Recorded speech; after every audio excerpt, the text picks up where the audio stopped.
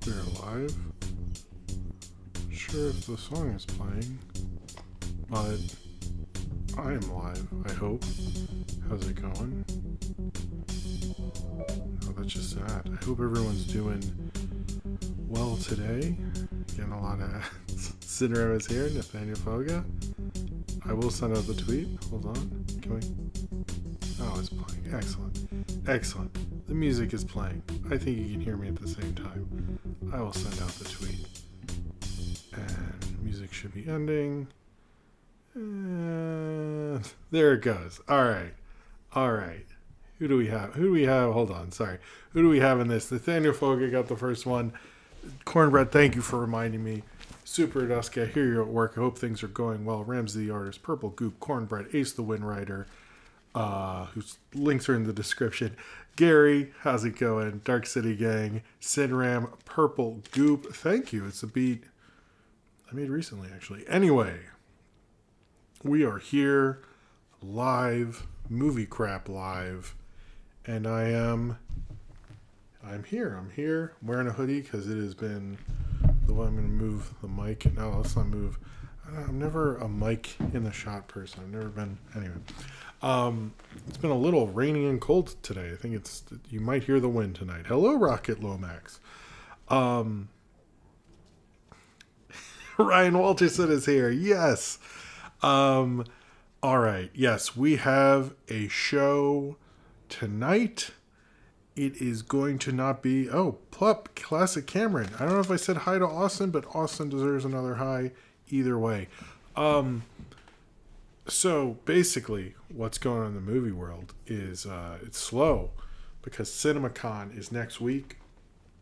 I don't know. Hello, Javier Portillo. I don't know all that's going to come out with CinemaCon. I know there's going to be a Joker 2 trailer on the 8th. So it's slow. So we're going to have a long ass intro. I have stuff to talk about in that. And then we'll get into the news. And I don't think we'll. I hope we don't end early. I like hanging out with all all y'all. But um yeah, we'll see. We'll see. This is to be a looser looser show. Hello Will. Hello Jordan Salaflo, I didn't say it. I hope I said hello to everyone. But anyway, um, where's my little. Believe it or not, I plan stuff out. I don't know if it comes across, but I try. Um, but yeah, it's been creative. Okay, so it was it was an interesting weekend for me for a lot of things, but um, I I wouldn't mind I don't think Sonic 3, because Sonic 3 is next year, correct? I don't think it's this year. Is it this year? Maybe. I don't know. We'll see. We'll see. We don't know till next week. Um, but yeah, I had I had an interesting weekend. Um, oh, I do have a I do have the, the, the energy drink with Ramsey the artist did guess. When I get this first super chat, I will show the rest of you. Ramsey the artist First one, not cornbread to get it. Um, but yes, I had. Um, oh, it is the year. It's December. Maybe we will then. I wouldn't be surprised. I'm I'm gonna assume we're gonna get more news about the Fall Guy. I think they'll do a screening for all the distributors. I bet you, and I'm sure we'll get stuff about later summer that we haven't gotten. Oh, it's the same day as the Lion King prequel. Sucks to be the Lion King prequel. I can't imagine kids are gonna be as into that. Let's fix this camera here. Let's, let's down a little. All right. Um. Uh, what was I gonna say? Yes. So this weekend was pretty cool. Um, acknowledgement wise, I guess. Uh, the film festival thing happened on. Uh. Uh, well, uh, right before the show last week on Thursday, and then um, I put out a short or a reel or whatever the fuck. Um, for the show I Hate People, People Hate Me. Um, and uh, the creator saw it and followed me and commented. And if you want to see that show, you should look at my TikTok comments. But uh, he was really cool. And that made me feel really good because it was like, hey, people seem to like, uh, the creator likes my thing. And so it's kind of like nice. I was like, I got in this film festival, I can show off I was in the film festival. Uh, the creator of a show uh, I like uh, liked my review, felt good about those things. So I was like, okay. But then I had kind of an interesting thing creatively where um, I didn't get done what I wanted to get done just because of just being burned out and exhaustion and stuff. And so, um, as I wanted to get the Spider Man and the Simpsons thing over the weekend, but um, I didn't. So, uh, you know, it it I did kind of reprioritize a few things, trying to I don't know in my in my head I would love to put out like two videos a day, but I don't think that's ever possible, um, just because of my life and stuff. But um, I don't know, made me reconfigure some things because for a little bit I was like, I'll watch Smiling Friends and then I'll make a little. Thanks to Liz, I'll make a little video, and I didn't because I was too tired, and I was like, yeah. So I'm re kind of figuring things out, but I think there's been a, good amount of content since I've done that. But um, so loose, cut it out.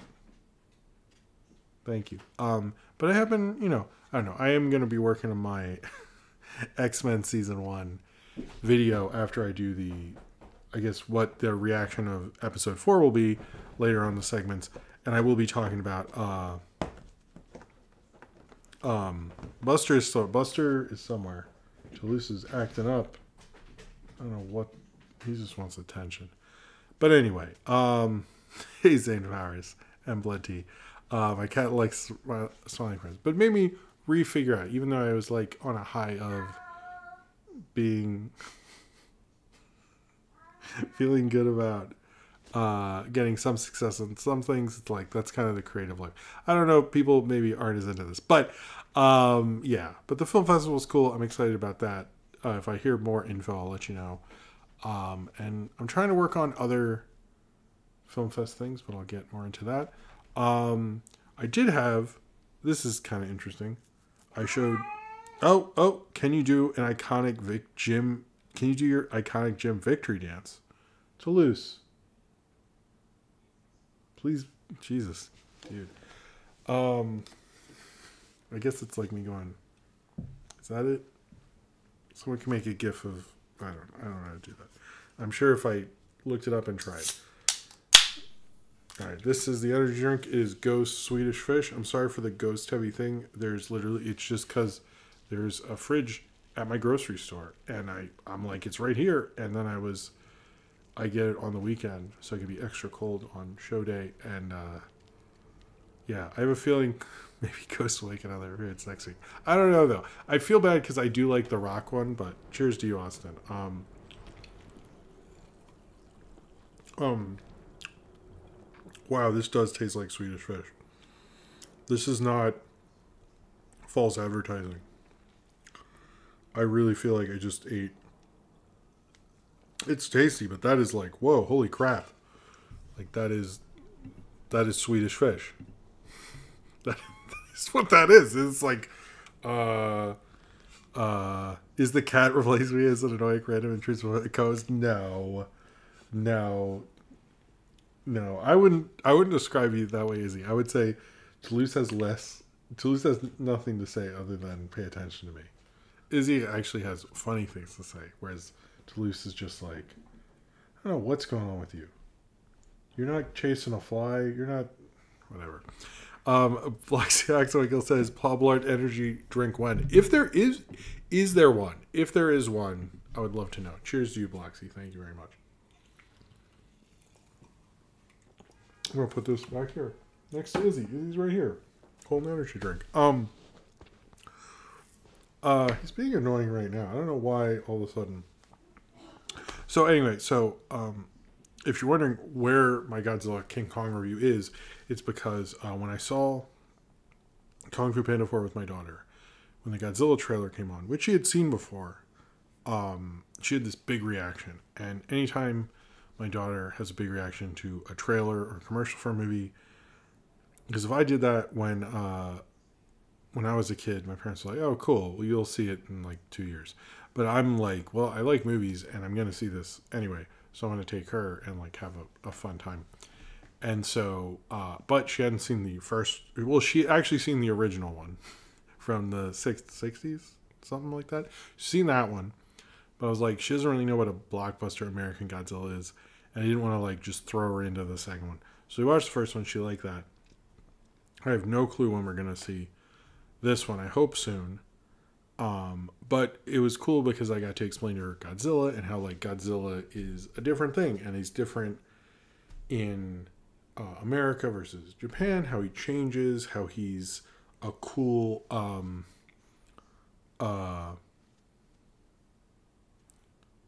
uh, how he, how he um, how he changes. Like I brought up like because she'd seen the one with the smog monster and like how that was about the environment, how it sometimes represents this Japan. And although she hasn't seen some of the harder ones, like the original Gojira and stuff, she's seen kind of the funner, still like you know Mothra. She's seen both the Mothra the '90s one and the original one uh, with Godzilla, and so uh, she was like actually got to talk about. We got to sort of have a learning moment. You wouldn't think that with Godzilla. I think most people wouldn't, but explaining to her how Godzilla changes over time, he changes in the country, how why Godzilla wasn't just like fighting in a field, um, how you know it feels sillier. Hey, hey, what's up, Lewis? Um, anyway, it was cool to watch it with her. She had a fun time. Also, because um, you know she met Millie Bobby Brown, so she liked that, seeing her in the movie and all that stuff. So it was it was like the perfect kind of fun time. But we're gonna see it together. So if you're like, why is it taking so long?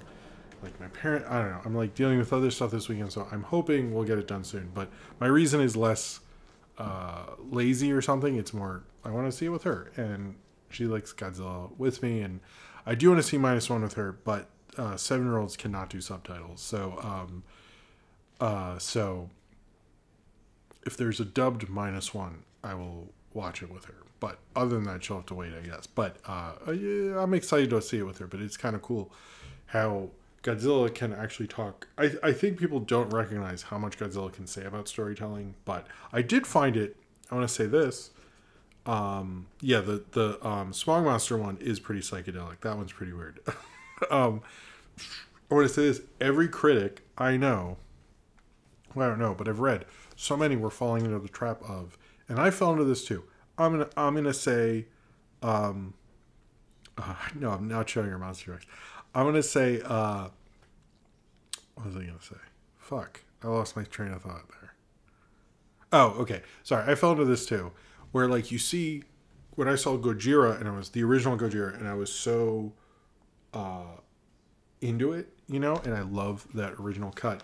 And so when I see sillier Godzilla, I felt weird about it, and I wasn't as sure. And it always does. Uh, uh, I don't know, like it kind of um it, it kind of when you watch the silly ones you're like no but the real ones represent this thing about the bomb and stuff.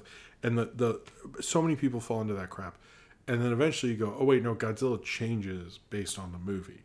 And some people have said it based on america's relationship with japan which i sort of grasp but i think it is just like different stories. It's not necessarily I, I don't know if that tracks as well. It's just like what the story is about because godzilla can be a oh Optimus Rimjohn, Yellow Butterfly, all these people.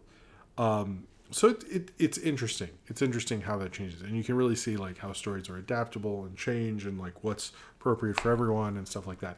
And I think that's like very much true. But it, I notice a lot of critics who either haven't seen Gojira or hadn't really had to reckon with that after minus one, comparing minus one to uh, the new one, uh, the Godzilla vs Kong, obviously those are very different because one is, you know, Japanese and like dealing with uh, the post atomic bomb world, and obviously like there's a very critical of America thing going throughout it and stuff, and it's very like even though it wasn't made in a post Oppenheimer world, it sort of much plays into that.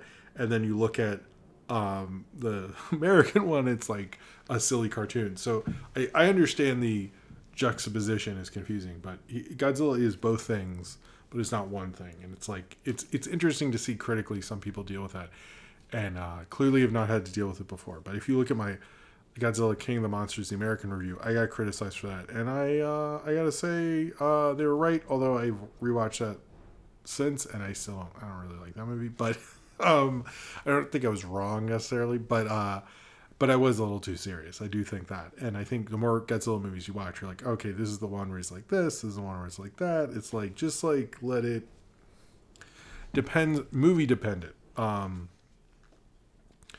uh, it, it, it really just depends on what kind of movie and is he a villain? Is he good? Is he you know is he fighting this guy? Is it like what kind is it? Not all of them are great. That I'm not saying that, but anyway, um, what else? What else? Um, oh, I do. Oh man, actually, speaking of that, I do have another thing, and I. Sorry, I want to add it to my script here. Okay, hold on. Hold on. Okay. Sorry. It's been one of those. All right. So, um, other than that, uh, a lot of cool stuff has come out. The movie review vote. If you've not voted on that, I wait. Where's where's where are we? Okay, the movie review out. If uh, you haven't voted on it, is there as well as I hate people, people hate me, as well as uh, the review of the Spider Verse short and the Simpsons thing, which did really well this afternoon. I'm a little surprised, but I'm happy because I, I, you know, I tried my best to make that a good one, and uh, it seems people really, really like it. So uh, I'm happy about that. Um, as well as throwbacks for the ori- review of the original Godzilla vs. King Kong. Um, and then uh, after that, uh, tomorrow will be my review of uh, Captain America Winter Soldier, which is 10 years old this month, if this week. And I still think, uh, I know people are more down on the MCU and stuff like that, but uh, still a good movie. Still a good movie. So, um, you know, uh, why not? That's what I say. It's its 10th anniversary, and you can watch my review from 2014 tomorrow, or you can watch it now. I don't fucking care. Uh, whatever.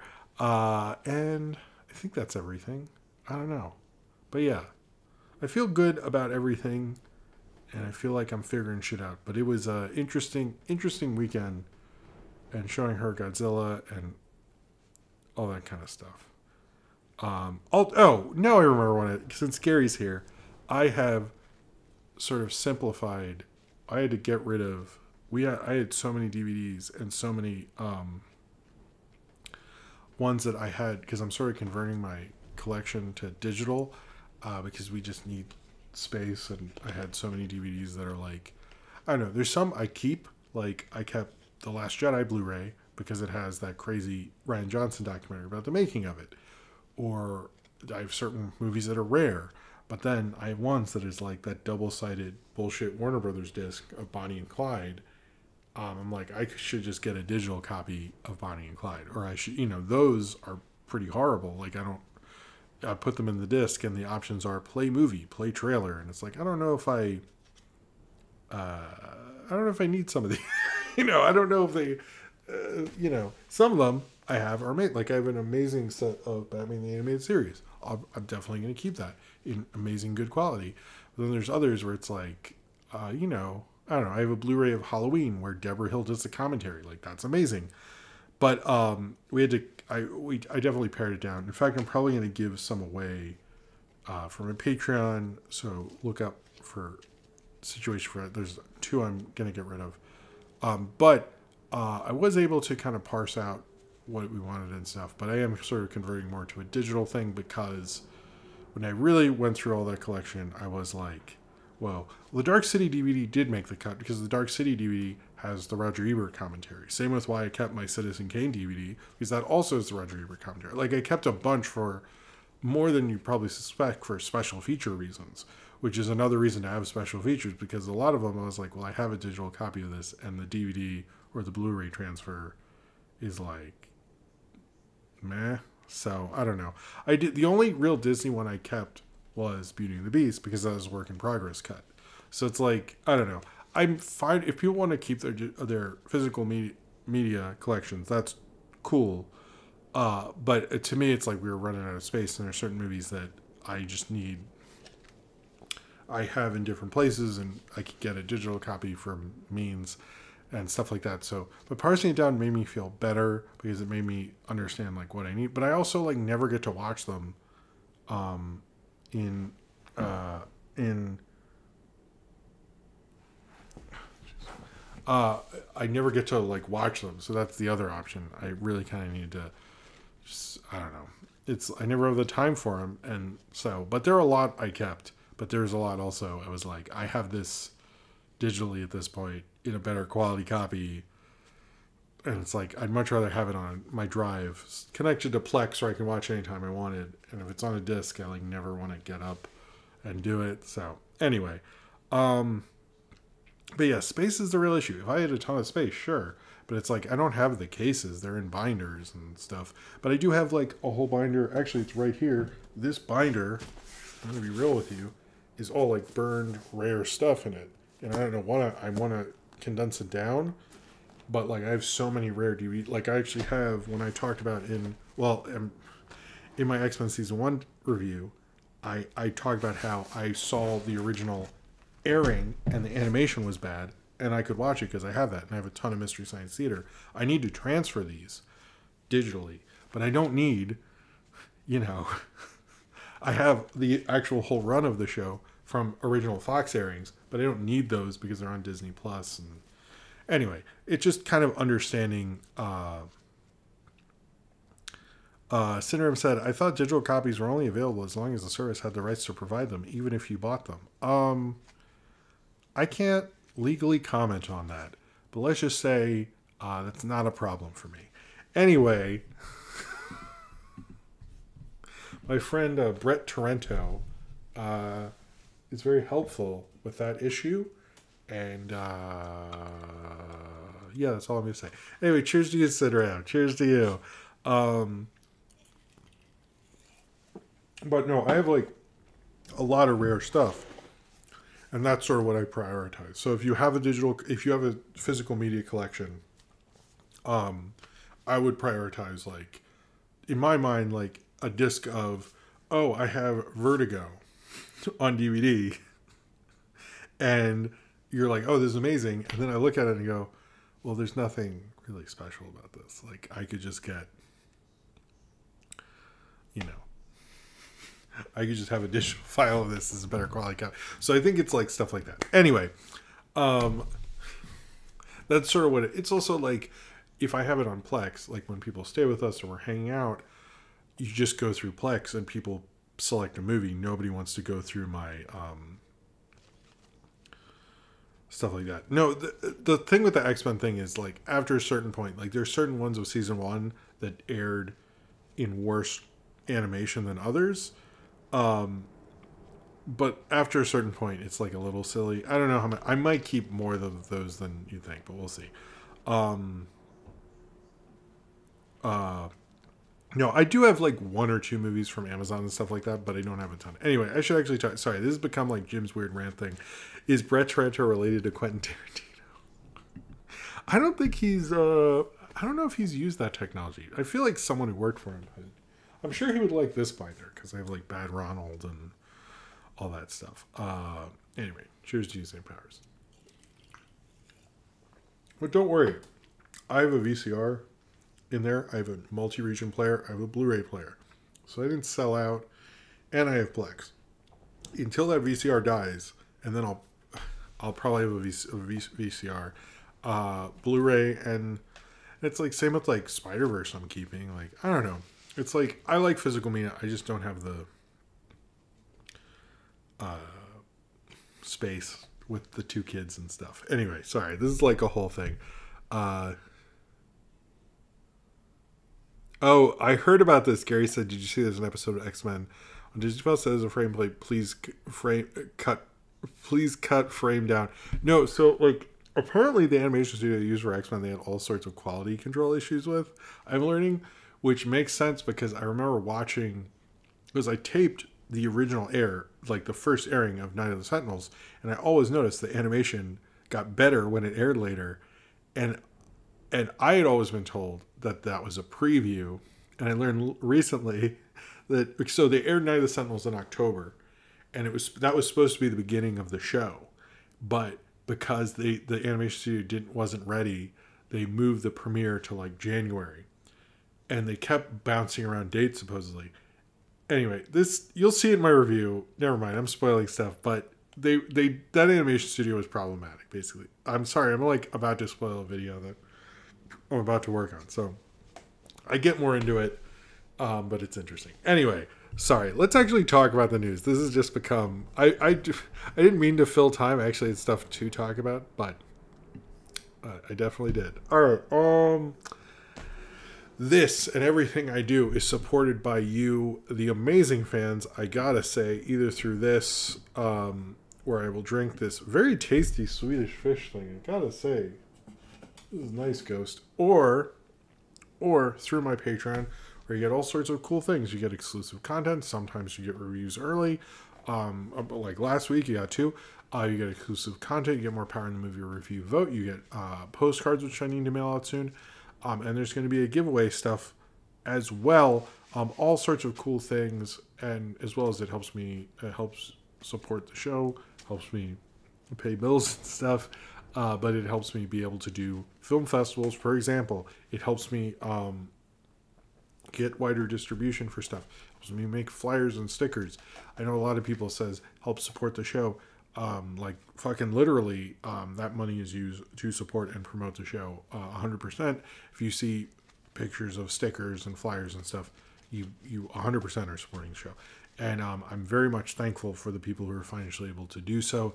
It's really, really very nice of you um, if you can uh, do that, of course.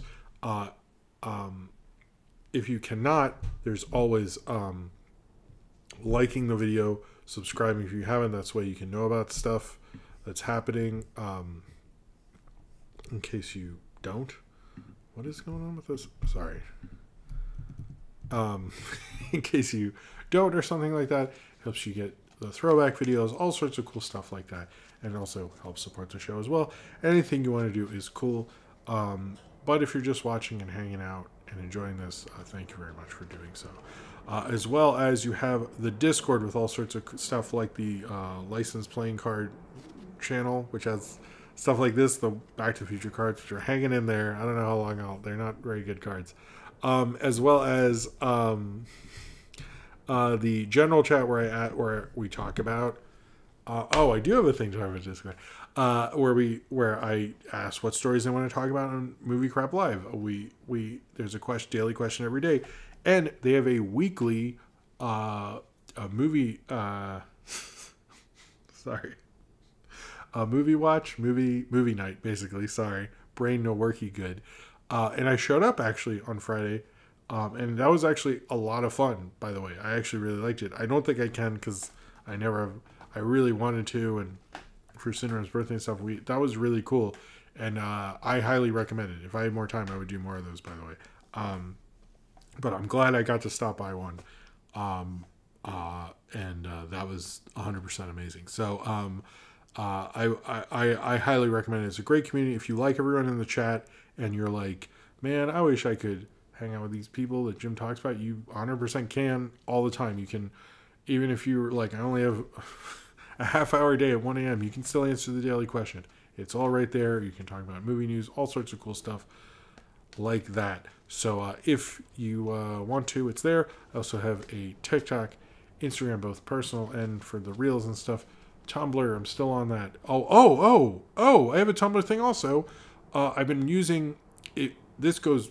I'll let me say the other things. I have a Facebook, Tumblr, YouTube, all that stuff. Follows on my Tumblr. This this is way back in Jim Past or whatever. I've been reblogging my old Tumblr blog, Comic Scans, which I don't know if everybody remembers. Um, it was actually probably the thing that I was biggest for for a couple years before Pizza Party took off, and it was like under the comic section on Tumblr when Tumblr was really big. It was one of the blogs. They really enjoyed it. Um, it was basically a blog for scans of comic book ads. Um, and uh, yeah, so I've been reblogging some of the ones that I posted on there for like Ghostbusters and Godzilla and King Kong and stuff like that. So uh, check out my Tumblr. You can check out Comic Scans. It's a cool blog. I don't know if anyone anyone here watching remembers that, but I was a major part of that. I, I was really driving. I really enjoyed it, but I had to give it up at some point. But I, I highly I, I highly recommend Comic Scans. But I've sort of been reblogging old uh, posts. So um, it's a it's a cool blog. I'm proud of it. But I had every now and then I'm like I would I love like just going through comics and taking images and making it was it was a lot of fun. But um, it was around the time I had to give it up, and I still I have uh I have mixed feelings about giving it up. I I, I still think about it. But um, man, yeah, cool blog. All right, I think that's all the old yeah. Sometimes it's cool to bring back the old stuff. Um, but yeah, if you've seen on Tumblr, like that was a plan. I think every now and then, if there are movies that are comic stuff, I'll like search on comic scans and queue it up and have a week of like probably with Deadpool and stuff like that. It'll be it'll be neat. It'll be neat every now and then when I can. Um, anyway, all right, let's actually get into the news. Uh, um, where is okay? Hold on. Okay, so we have two movie news things that broke tonight, and then I'll get into the Matrix thing. But uh, Silver Surfer was cast, uh, and uh, there was some rumors that it would be a woman, and uh, it looks like that is true. It'll be played. Uh, Silver Surfer will be played by Julia Garner. Now, this is not um, normally. Fant- uh, Silver Surfer is Norrin Radd, who's the male version, and Shalla-Bal is actually Norrin Radd's like girlfriend was the reason why he was like, you know, Galactus, don't eat my planet. My girl's on here, and he's like, all right, cool, but like your planet's like hidden and you stuck on Earth for a while and shit. So she is the Shalla-Bal version, um, who was yeah, it's the same character but different. I forget the whole deal with it. Um, I know a lot of people are going to get upset about um, Silver Surfer gone woke or something. Uh, look, I actually did grow up with Silver Surfer comic. This isn't like one of those like fake things and stuff. My dad, my dad's favorite characters were Doctor Strange, Silver Surfer, and Adam Warlock. So when they teamed up, shit got shut down. No, when, he would just read them. But um, but Silver Surfer, I've read the original, was it twelve issue series a few times. I've read the '90s one a lot. I don't go as far past that, but I know a fair amount of about Silver Surfer. Um, I I don't I haven't got to talk to my dad about this actually, but um the I'm curious how he feels about it. I'm a little my mixed the only mixed thing I, I have a few mixed thoughts on it. I think she is really good. Um, Julia Garner. She's a great actress. I know she was going to play Madonna, that Madonna biopic that fell apart, unfortunately. But um, she is an interesting actress. I'm more like inter- I'm more like when I saw this go, oh, interesting. Uh, you know, oh, that's a that's that's an interesting pick. Um, I'm kind of like not sure where this is going. I'm not upset, to be honest with you. The only thing I'm surprised by is that like I feel like this is the MCU Silver Surfer, and I felt like there was more of a uh, kind of preciousness to like like how they did Spider Man and like things like that. But another part of me is like, I, I, I am intrigued because she's an interesting actress. So I'm I'm sort of like half like I do know the Norrin Radd character a lot better.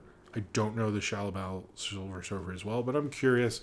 Uh, as well as like I feel like she would be was it like Nova or whoever the second Herald of Galactus. I feel like she would be better as that character, but um, just knowing her as an actress. But I, I again I don't know how they're gonna write that. So um, I I was sort of like intrigued.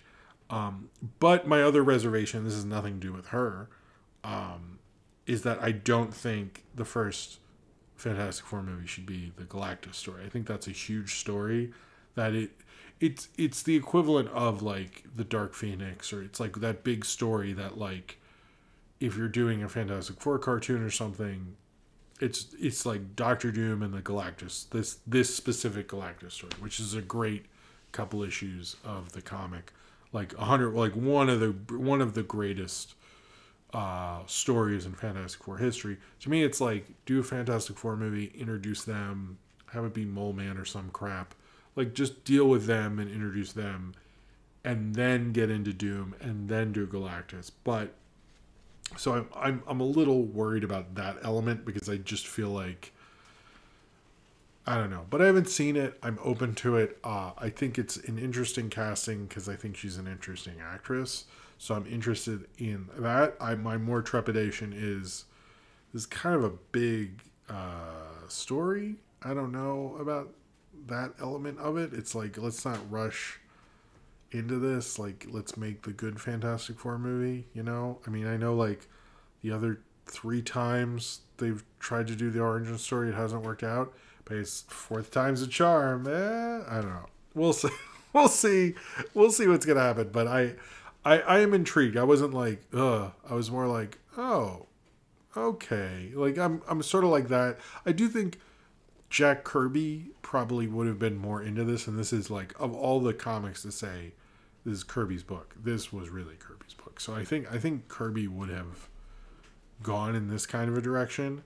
But if you're going to go in this direction, like it's got to be weird. And I I think Matt Shakman can do it, but uh, we'll see what the big we'll we'll see what happens. But I, I am like this is a bit of casting where I'm like intriguing. Like I, I was I was not.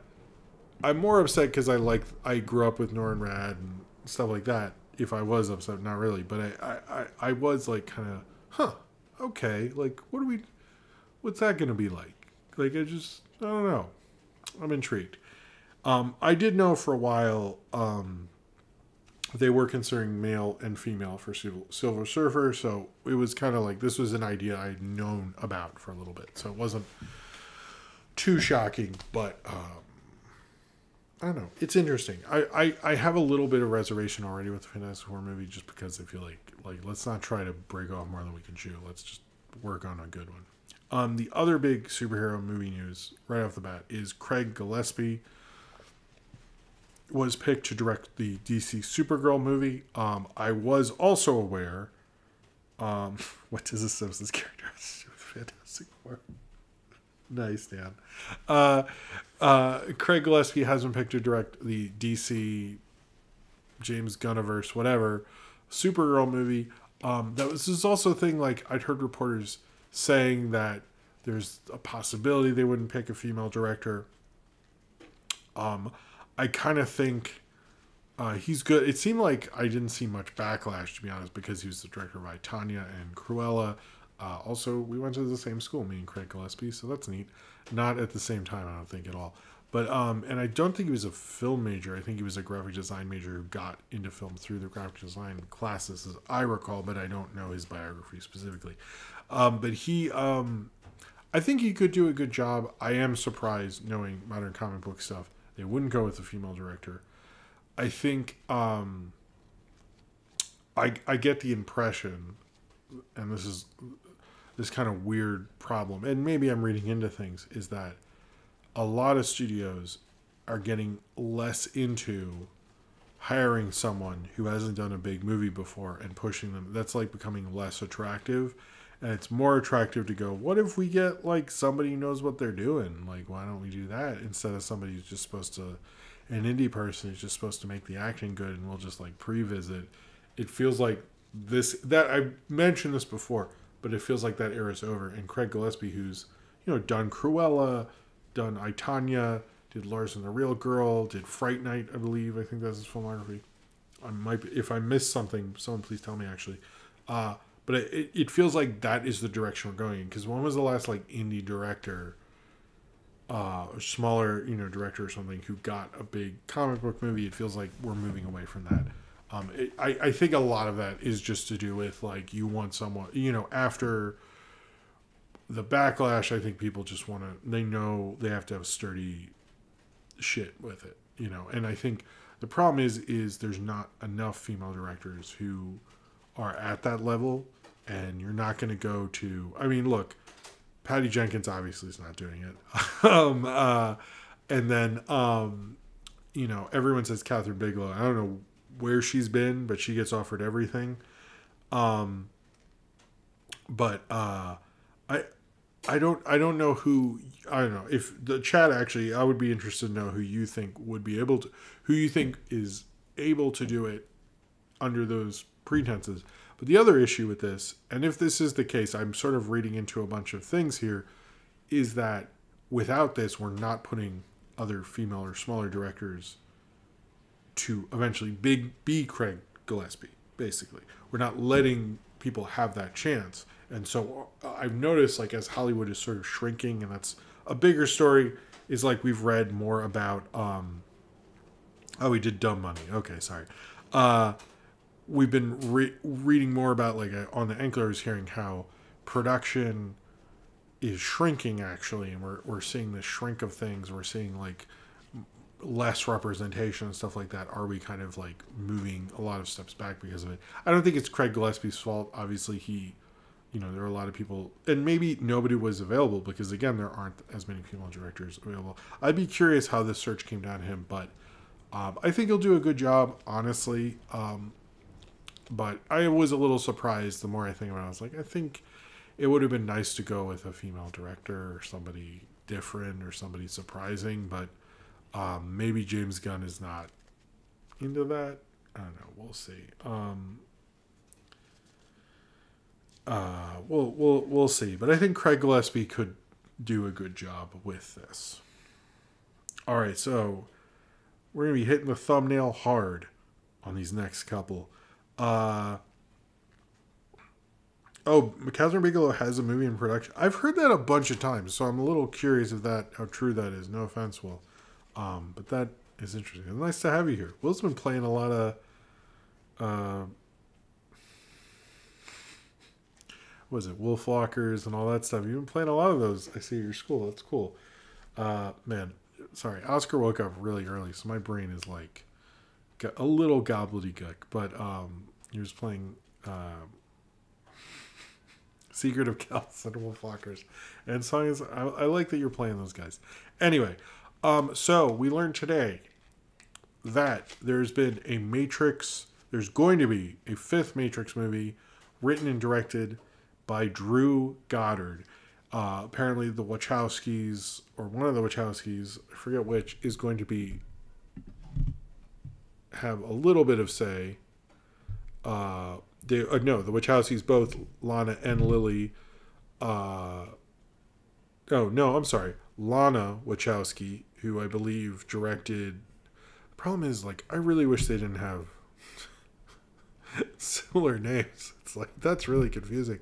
Um, Lana Wachowski, who directed the last um, Matrix movie, will be producing. It seems like Lily has sort of moved on with her life, uh, um, but um, which, which is fine. Uh, I, am curious uh, about this. I know for a while Warner's has wanted to make a Matrix without the Wachowskis. There was sort of some like hush hush development about something with Michael B. Jordan, which never really got fully announced and everything like that. Um, and I, I'm not surprised because it seems like Warner's Warner's more so than any other studio operates under this thing of like what are our big franchises under the the banner. And I feel like The Matrix is probably something that they always see in their top whatever most movies. And I feel like Buster is, is locked in a room. Hold on one second. I gotta gotta free Buster.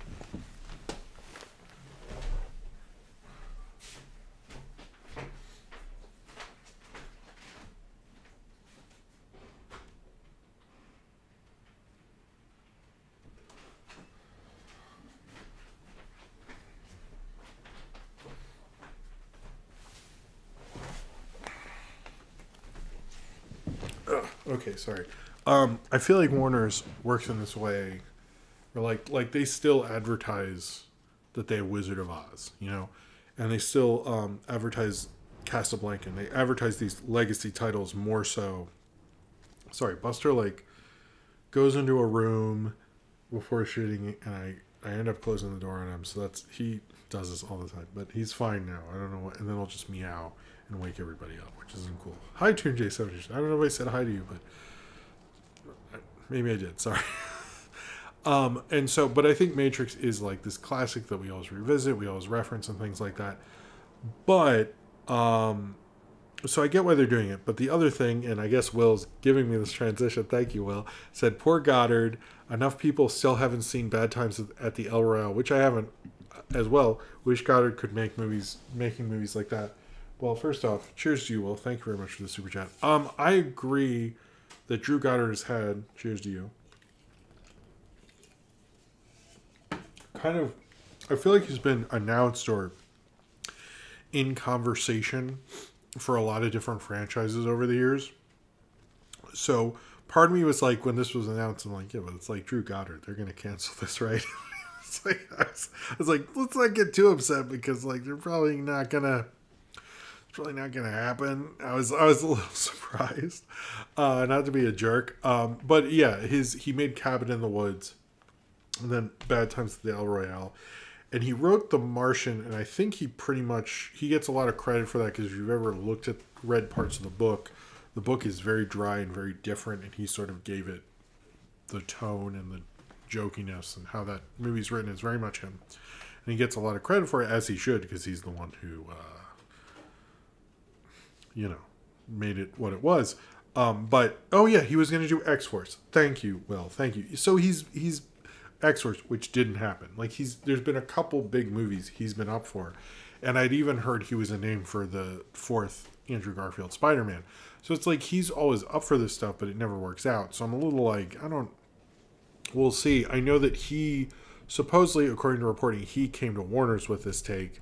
I I am like I, I feel like that's just them being nice and like they were like, hey, do you does any you know probably put the feelers out and he said yes i have um, a matrix 5 taker ask people or whatever. Maybe he went to them i don't know i'm i'm highly speculating in that regard but um, i am a little hesitant because the matrix is such a wachowski thing and it feels to me like not a good idea but drew goddard is sort of weird i mean if we look at um what you know, Cabin in the Woods, for example, or uh, Will brought up Cloverfield. I forgot he wrote Cloverfield. Or um, even if you watch, I think it's Bullets and Broadway or whatever it is, did that thing on Suicides or uh, uh, the Sinister Six uh, script he had. Like they're all cool ideas. I think he's a good screenwriter, so I think he could potentially do something cool.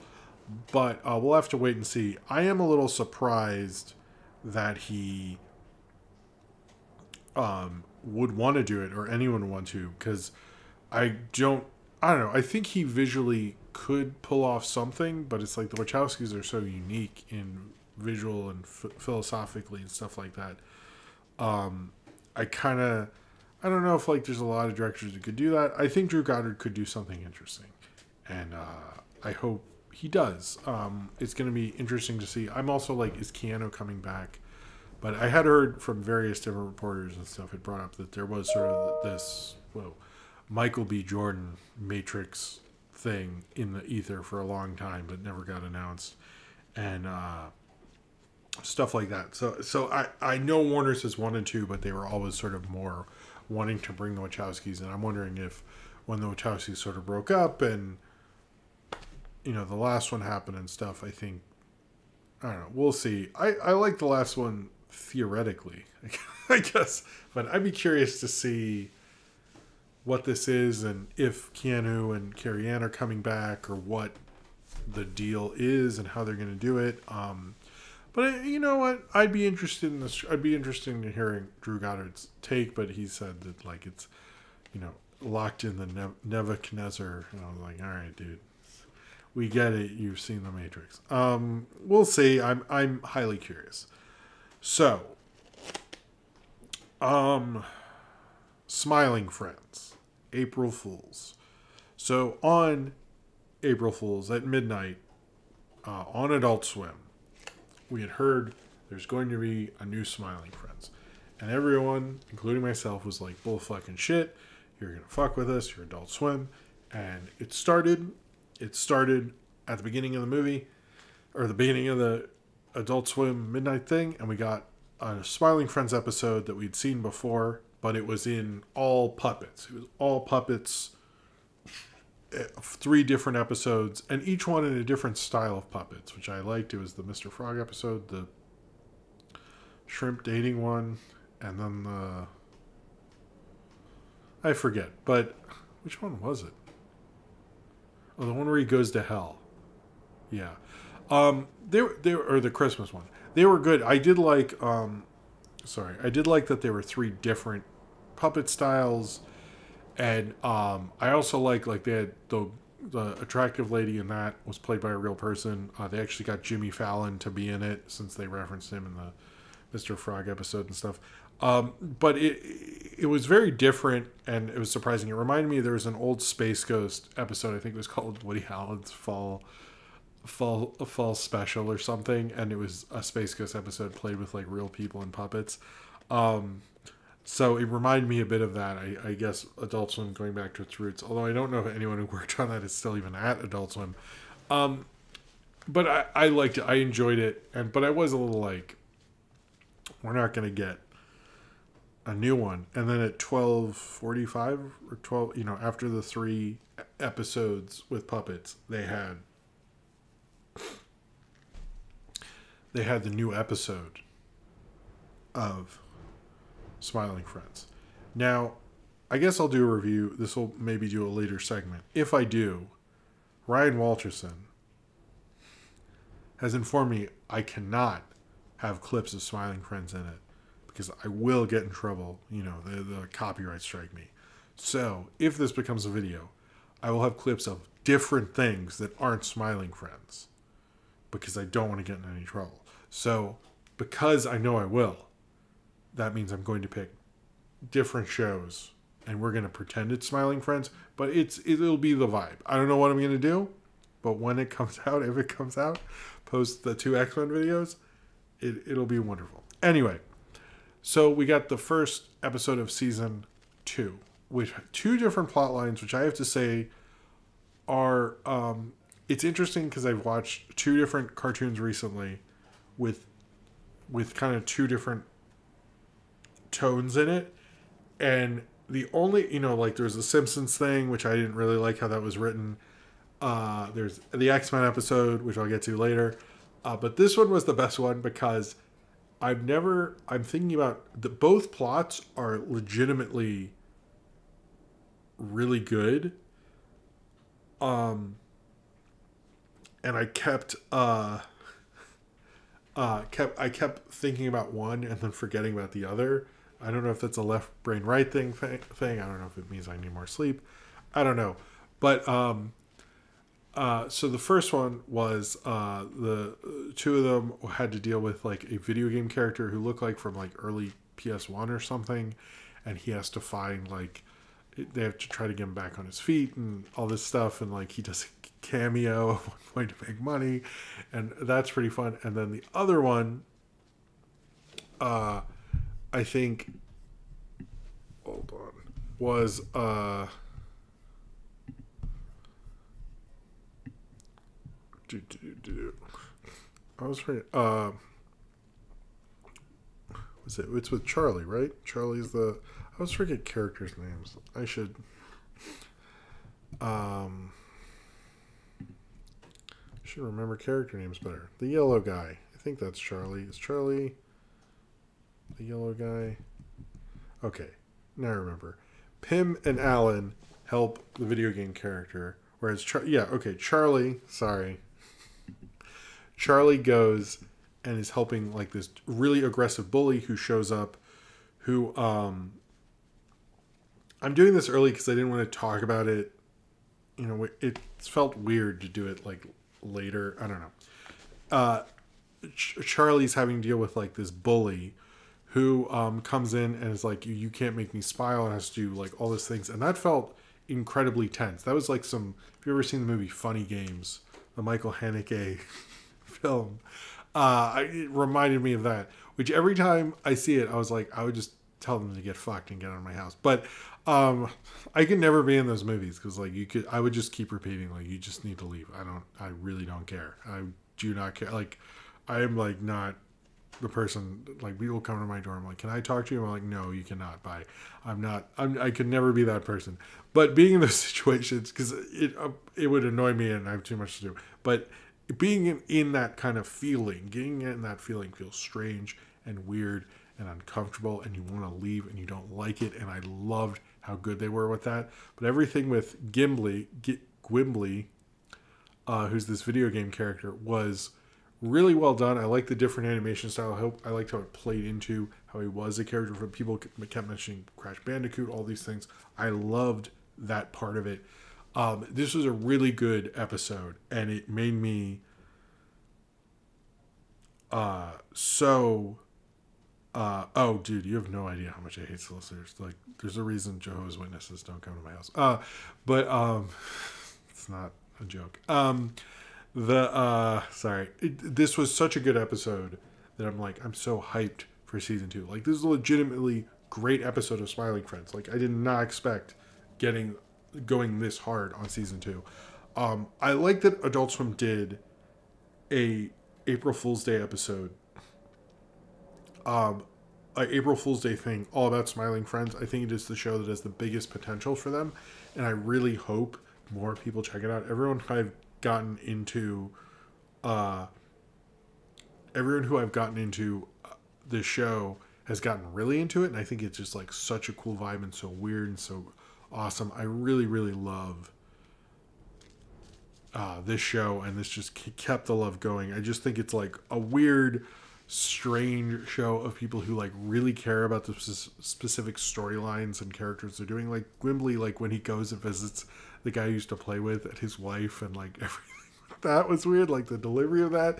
Like I, I know everyone on the internet was talking about how like wife was like, I don't like the who is this? I'm scared. It's like I'm sorry guys, we I seriously really have to go right now. Like that was interesting. It was just remind me of why I love this show. Like there's been certain ones X Men '97 did it as well with the first one of that, but this made me go like, I am very hyped. It comes back May 12th. They will get more episodes of Smiling Friends, and I cannot wait after how good this really was. Um, I hope the clips, whatever I pick, I sort of have an idea, are good. Anyway, I'm not sure if that's going to be the April Fools in that. Um, no, so basically, anytime Jehovah's Witnesses used to come to my old apartment, and I got I got mad at them because they used to wake me up, and I got really pissed off and then um, I think they tried it again. I was like, look, you cannot do this to me. Like I work, and they were like, yeah, but, and I was like, and I think I said something like, I will call the head person, and they never bothered me again, and it's been a long time. Um, anyway, I really don't like getting called and stuff like that. I used to do this thing.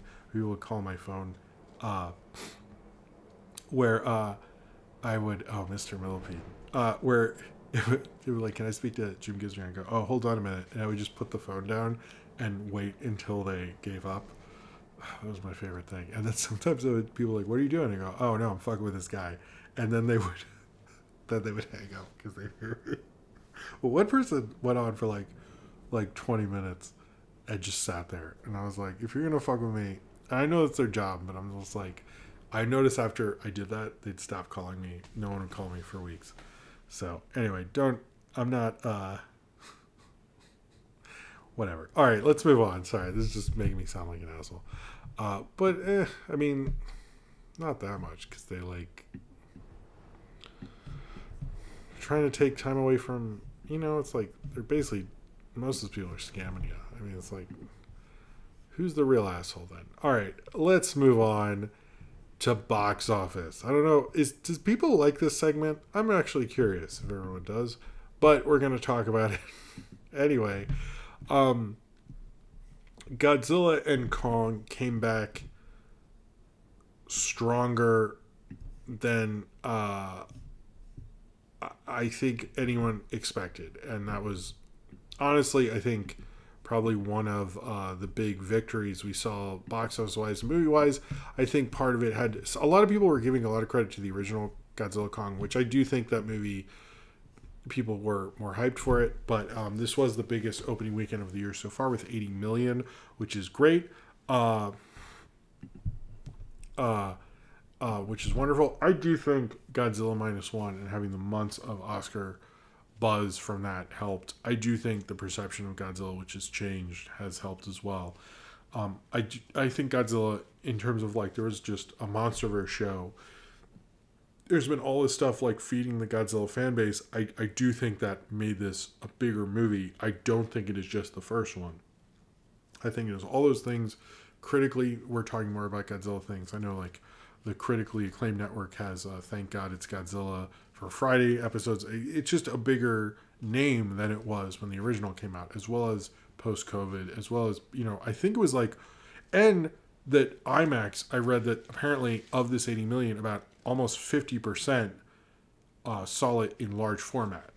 And we're seeing that more and more, the large format, because I do think what's happening is with um, a lot of these films is it previously would be uh, if unless you're like a weirdo like me who goes to movies all the time uh, most people don't. And if they're going to go they want to have a premium experience. And especially a movie that's going to have big explosions and stuff like that they want to see it in the, the biggest screen possible. And we saw that with dune had almost 50% large format and we saw that with godzilla and kong. So i think we're going to continue to see that and i think it's going to prioritize hollywood doing imax more and stuff and you know hey tom cruise is right i guess uh, so um, but 80 million is great. Uh, the second number two ghostbusters fell 65% which i think is probably um, again not good because that costs so much and it's at 73 million. Um, but uh, kung fu panda 4 doing great at number four with 151 million. And dune part 2 is holding on fairly strong. Both dune part 2 and kung fu panda 4 only dropped 30 35 and 37% respectively. Uh, dune part 2 is at 200 million 252 million um, so they're they're both doing as as Dune Part Two that Dune Part Two is holding better than uh, Kung Fu Panda is insane. Like it's it's not so much that Kung Fu Panda's bombing; it's more that like the the word of mouth with Dune Part Two is so good. Um, it, but Dan actually brings us up that they were projecting Godzilla and Kong would make about fifty to sixty, and it blew all of that out of the water. So um, I, I do think what we're we're seeing is a different kind of box office, which we'll see throughout the summer. Um, I am curious how things like, I think Furiosa will do well on IMAX. I think uh, Apes will do well on IMAX, things like that. But then you have things like they're like the Fall Guy. Like you don't, do we need to see that in IMAX? You know what I mean? like I'm curious what will, what won't. But I think it'll work out where like certain films will get to play while other films will get to play, and it'll like make the multiplex a little healthier. Um, other things, Arthur the King, that movie that you're like, seriously, that was a movie um, with Mark Wahlberg and the dog, uh, isn't doing that well. I forgot it was out, to be totally honest. Um, where was it last week? Did we even? Was it number five? Now it's at six. Wow, doing real bad. Um, um, I also know I keep forgetting. It's weird that the People's Joker got so much attention initially and now it's coming out and i feel like we're getting less attention. I still do plan on seeing it. I'm not sure when and how but i, I would really like to see that movie. Um, and the bottom slot of the box office at number 71 with $120 is a film called glitter and doom. It is about serious musician doom and free-spirited circus kid glitter begin a summer romance but the relationship is tested as they try to make it in the music business okay. Apparently, it's made thirteen thousand dollars. What? Wait, and it opened on March sixth. All right, sure, whatever. Um, good for you. Amelie jumped off Whoa, guys! Amelie is becoming a huge movie. Remember, I was at the bottom of the box office. Well, the two 2024 re-release has gone up 273 percent because it's now at four theaters and it made 844. Sorry, I'm being an asshole. Uh, I was like, I brought it up to people. I was like, you know, that's in theaters again. I don't know if anyone's talking about that. Anyway, sometimes I like to just scroll through the box office. I also would like to see hundreds of beavers. What's remembering Gene Wilder? I don't even know what that is. All right, anyone but you. Wow, Madame Web has actually fallen farther than anyone but you. That's interesting. That's interesting. Where's immaculate? And number five, beating Arthur and the King. All right. Sorry, this is just me scrolling through stuff. Um,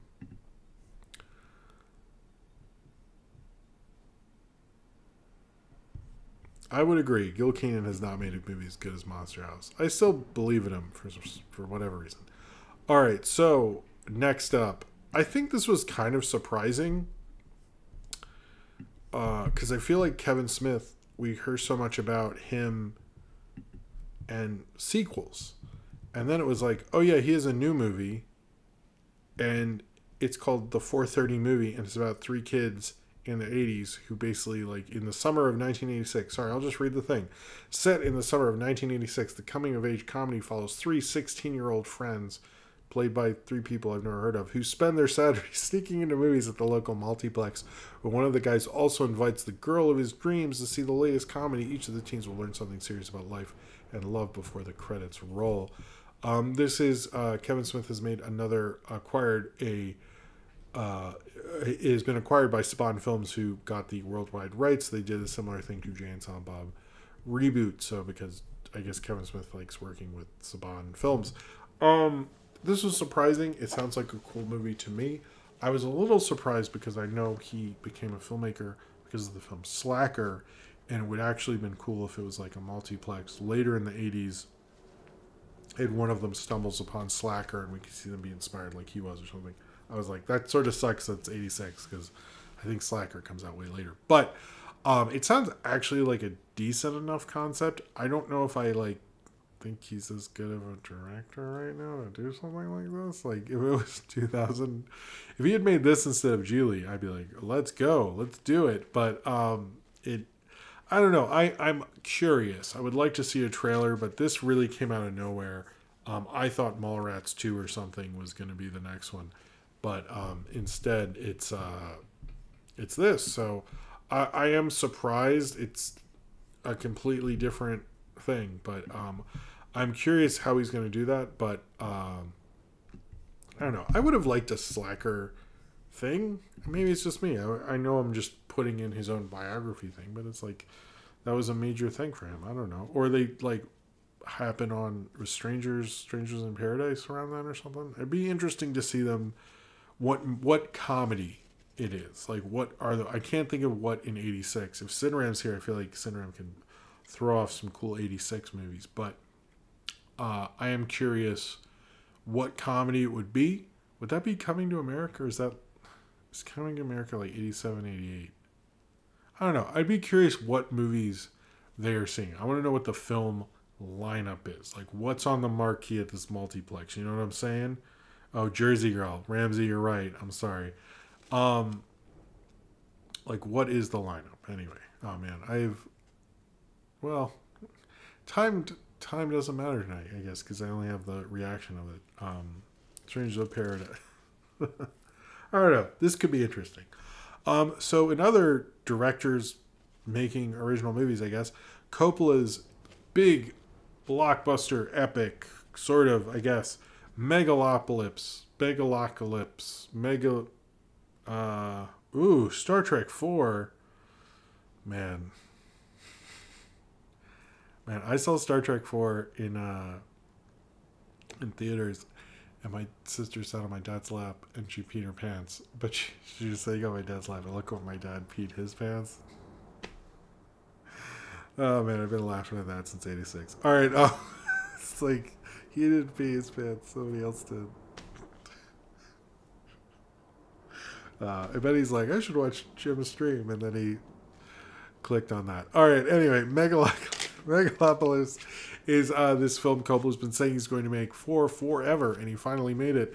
And it screened for a lot of people, and people act like it was an insane vision. It was this crazy, insane movie.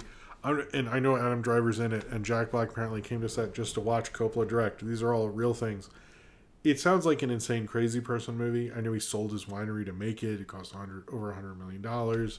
They're trying to find distribution, so they're starting to show it to people and some people are like confused by it, overwhelmed by it. I am pretty hyped for this. I think it's pretty cool to see a big insane Coppola vision at this point. Um, there has been the only criticism I've actually seen is like why didn't Lucas help him pay for it if Lucas is top the Forbes list with like billions of dollars, which I'm like I don't disagree with that. If Lucas is like believes in personal vision or something, or maybe it was all hype and he isn't really making tone poems. But um which I sort of suspected the whole time. But uh the Megalocalypse sounds amazing from what everything I read about it. I do notice people um uh, people are jumping off the auteur uh, deep end with that one uh, for this movie, which I'm like, I get that it's Coppola. I don't know. Coppola is a weird thing because I think the thing that hurts Coppola more than anything is that so many people hear, "Oh, I have to see The Godfather," and like people roll their eyes or Apocalypse Now. But I'm going to tell you this if you've never seen those, here's the thing about them. Yes, they're discussed too much. Yes, people are weird about them. But Godfather 1, Godfather 2, Apocalypse Now, and The Conversation are all great movies. Like, if you're like, hey, do you want to see a great movie? Those are all great movies.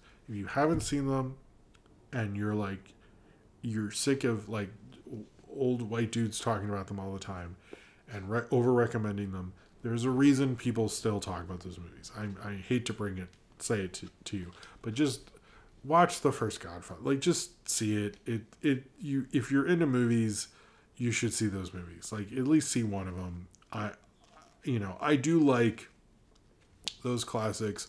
There are certain ones I haven't seen. Uh, after his 70s period, it does get a little murky.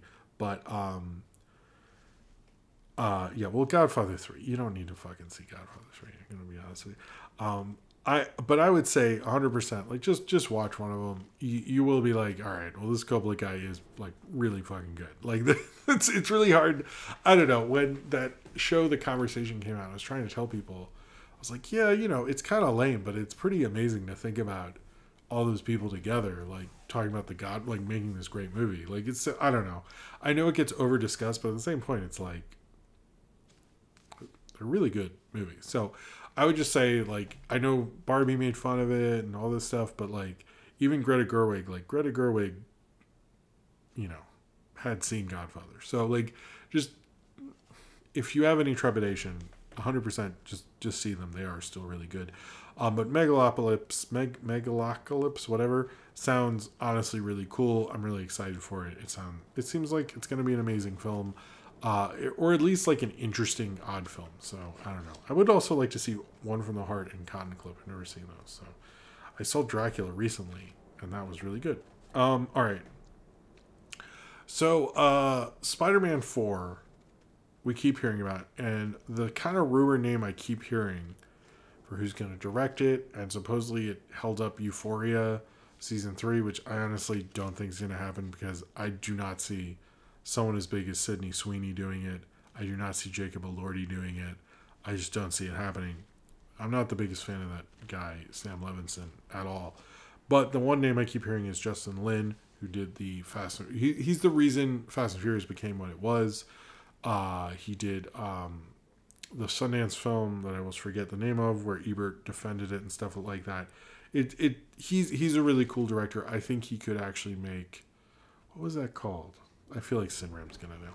Uh, sorry if I'm leading on you too much tonight. Uh, uh, he's a good director. I actually of the names, I think he could make a really good Spider-Man Four. We'll see what happens with that. I know he left the Fast and Furious things at the end, but we'll see.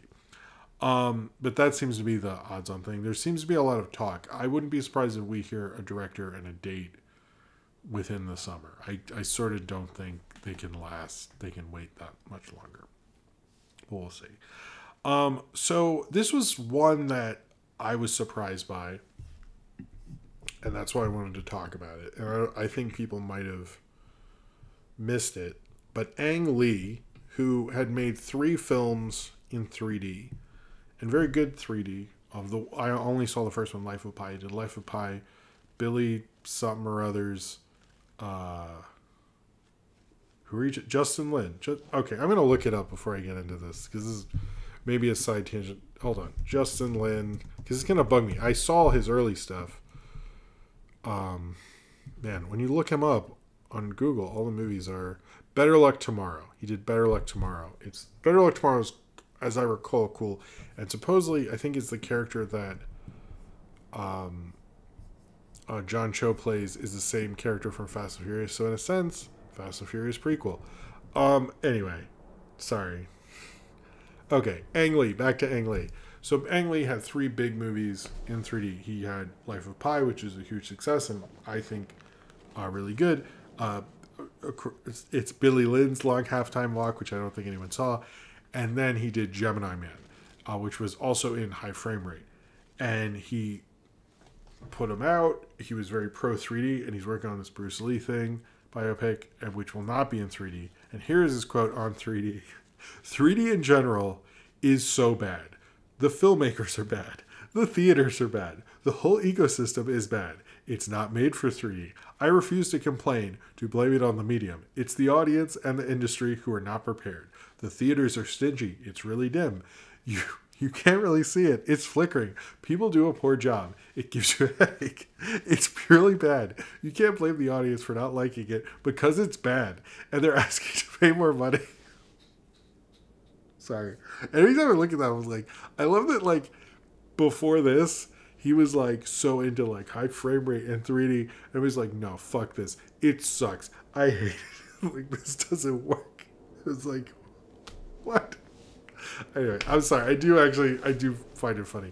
Um, but yes, Ang Lee has um, changed his mind on 3D. I do think Billy Lynn's halftime walk was sort of a weird artistic idea. Life of Pi was a way bigger hit I think it made like 800 million worldwide.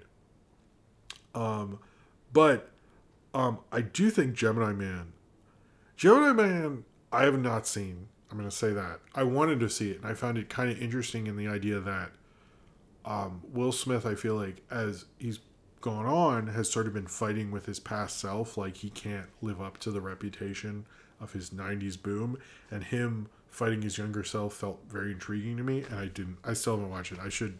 I haven't heard the best things, but um, I think most people and Will Smith thought this was going to be his like big artistic triumph, like he'd work with Ang Lee and all this stuff. It didn't work out, and then you know the slap and all that stuff. But it, like it felt like that they really wanted it to be a thing, and it just didn't happen.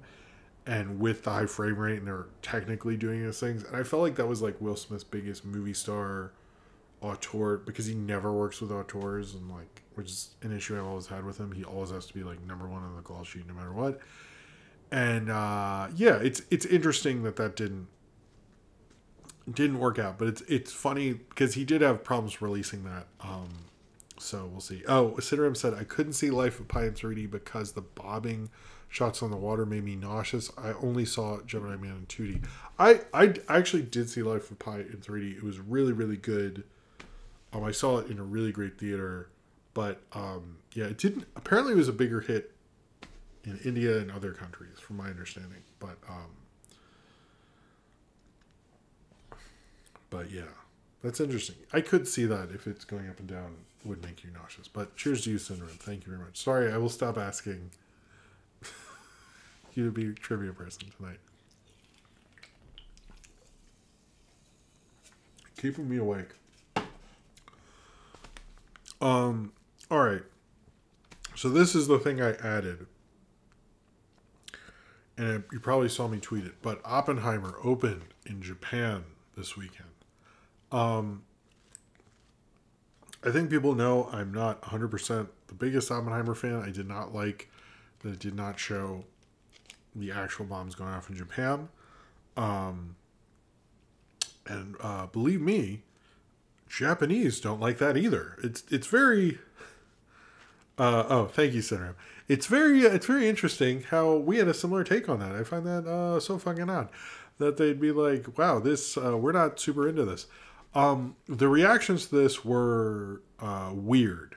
I will say the Japanese critics, of course, are not going to like this fucking movie. And by the way, they have every right to not like Oppenheimer. There's like, you know, the whole history of the whole thing, and there not being anybody, any Japanese people in the whole movie, I can imagine they wouldn't be super fans of this. I do think Universal looked at the release thing and went, let's release this after the Oscars so we don't have to deal with the criticism that would become a bigger thing during Oscar time, which was.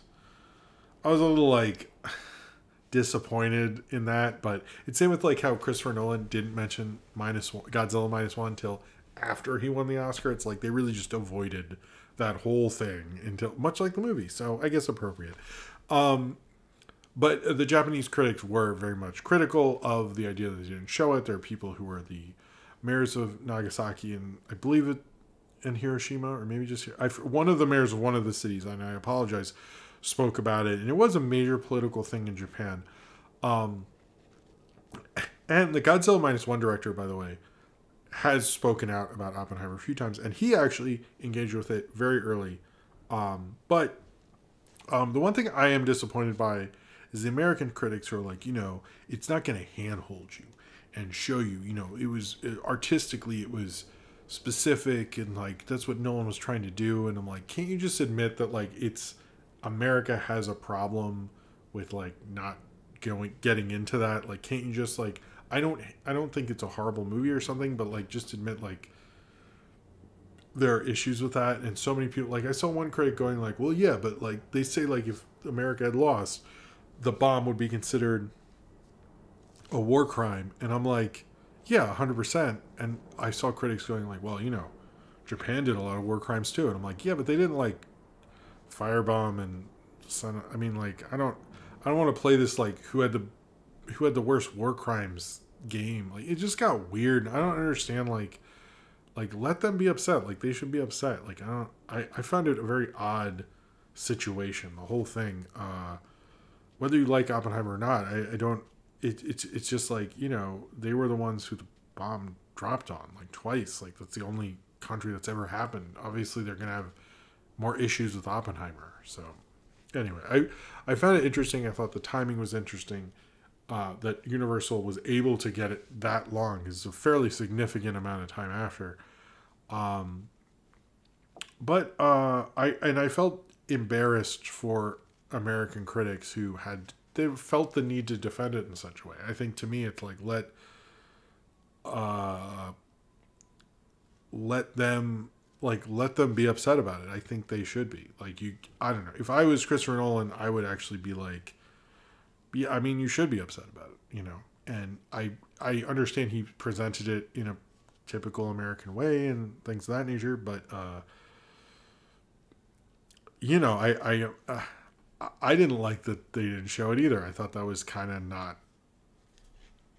I I didn't think it was like what Zone of Interest did. I think it was a way they didn't want to deal with it. So we'll see. It, I I think they need to um I don't know. I, I think you sometimes need to let people air out their frustrations and listen rather than complain and try to one up them and like especially with that like of all things like I, know, I just found it an odd an odd situation and I was part of me is like as I'm talking about I'm like I get why Universal was like I'd rather not deal with this so let's just like push it back when do the Oscars happen could we just like not I don't want to do that like I I'm sure they're like, I kind of just like, kind of just want to get that Oscar for him. And just like, let's just not. seems like a quagmire. Anyway, theater focus said, dang, directing Gemini Man really changes a person. I guess you're right. Nice one. Cheers to you. Um,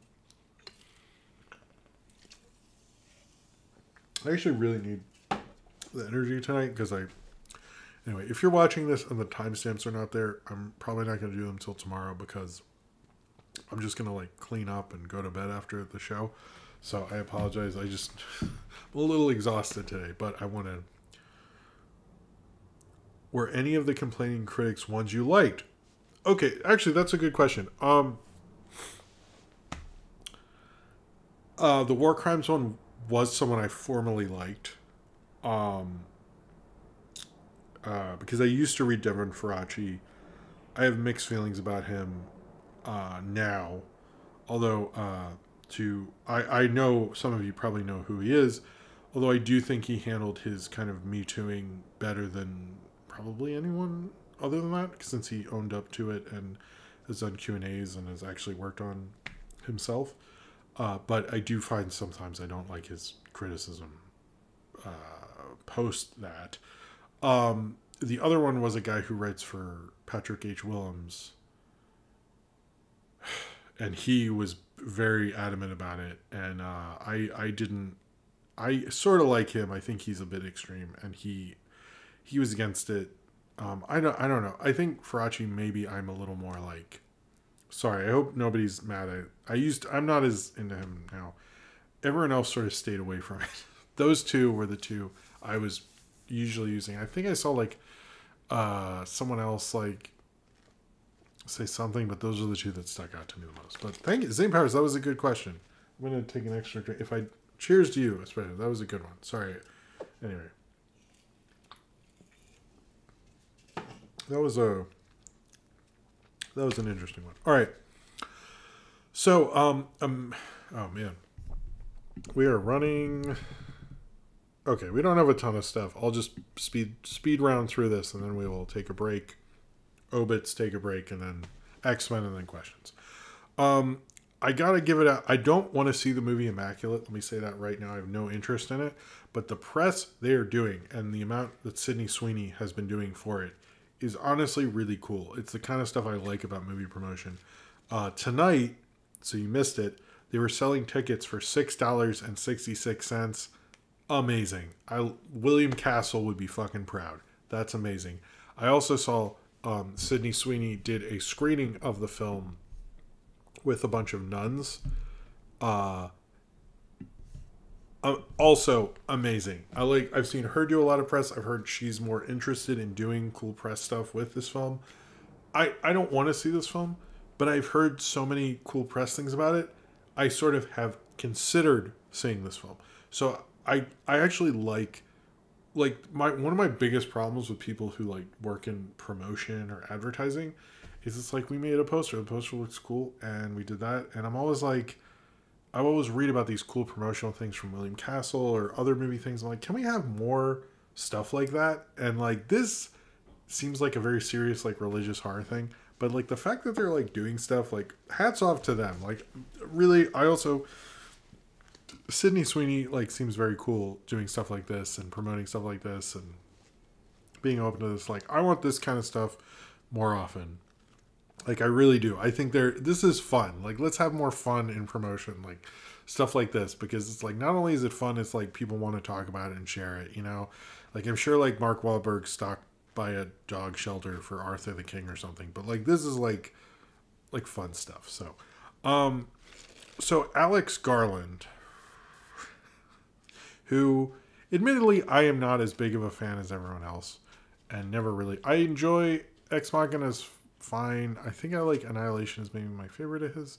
I didn't see Men, and then Civil War is coming out.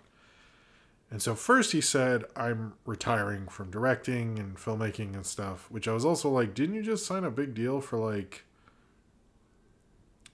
the 28 Days Later trilogy? So I don't, I was, right when I read that, I was like, I mean, I, I think they just handed you a bunch of money to write a bunch of stuff. So I don't know about that.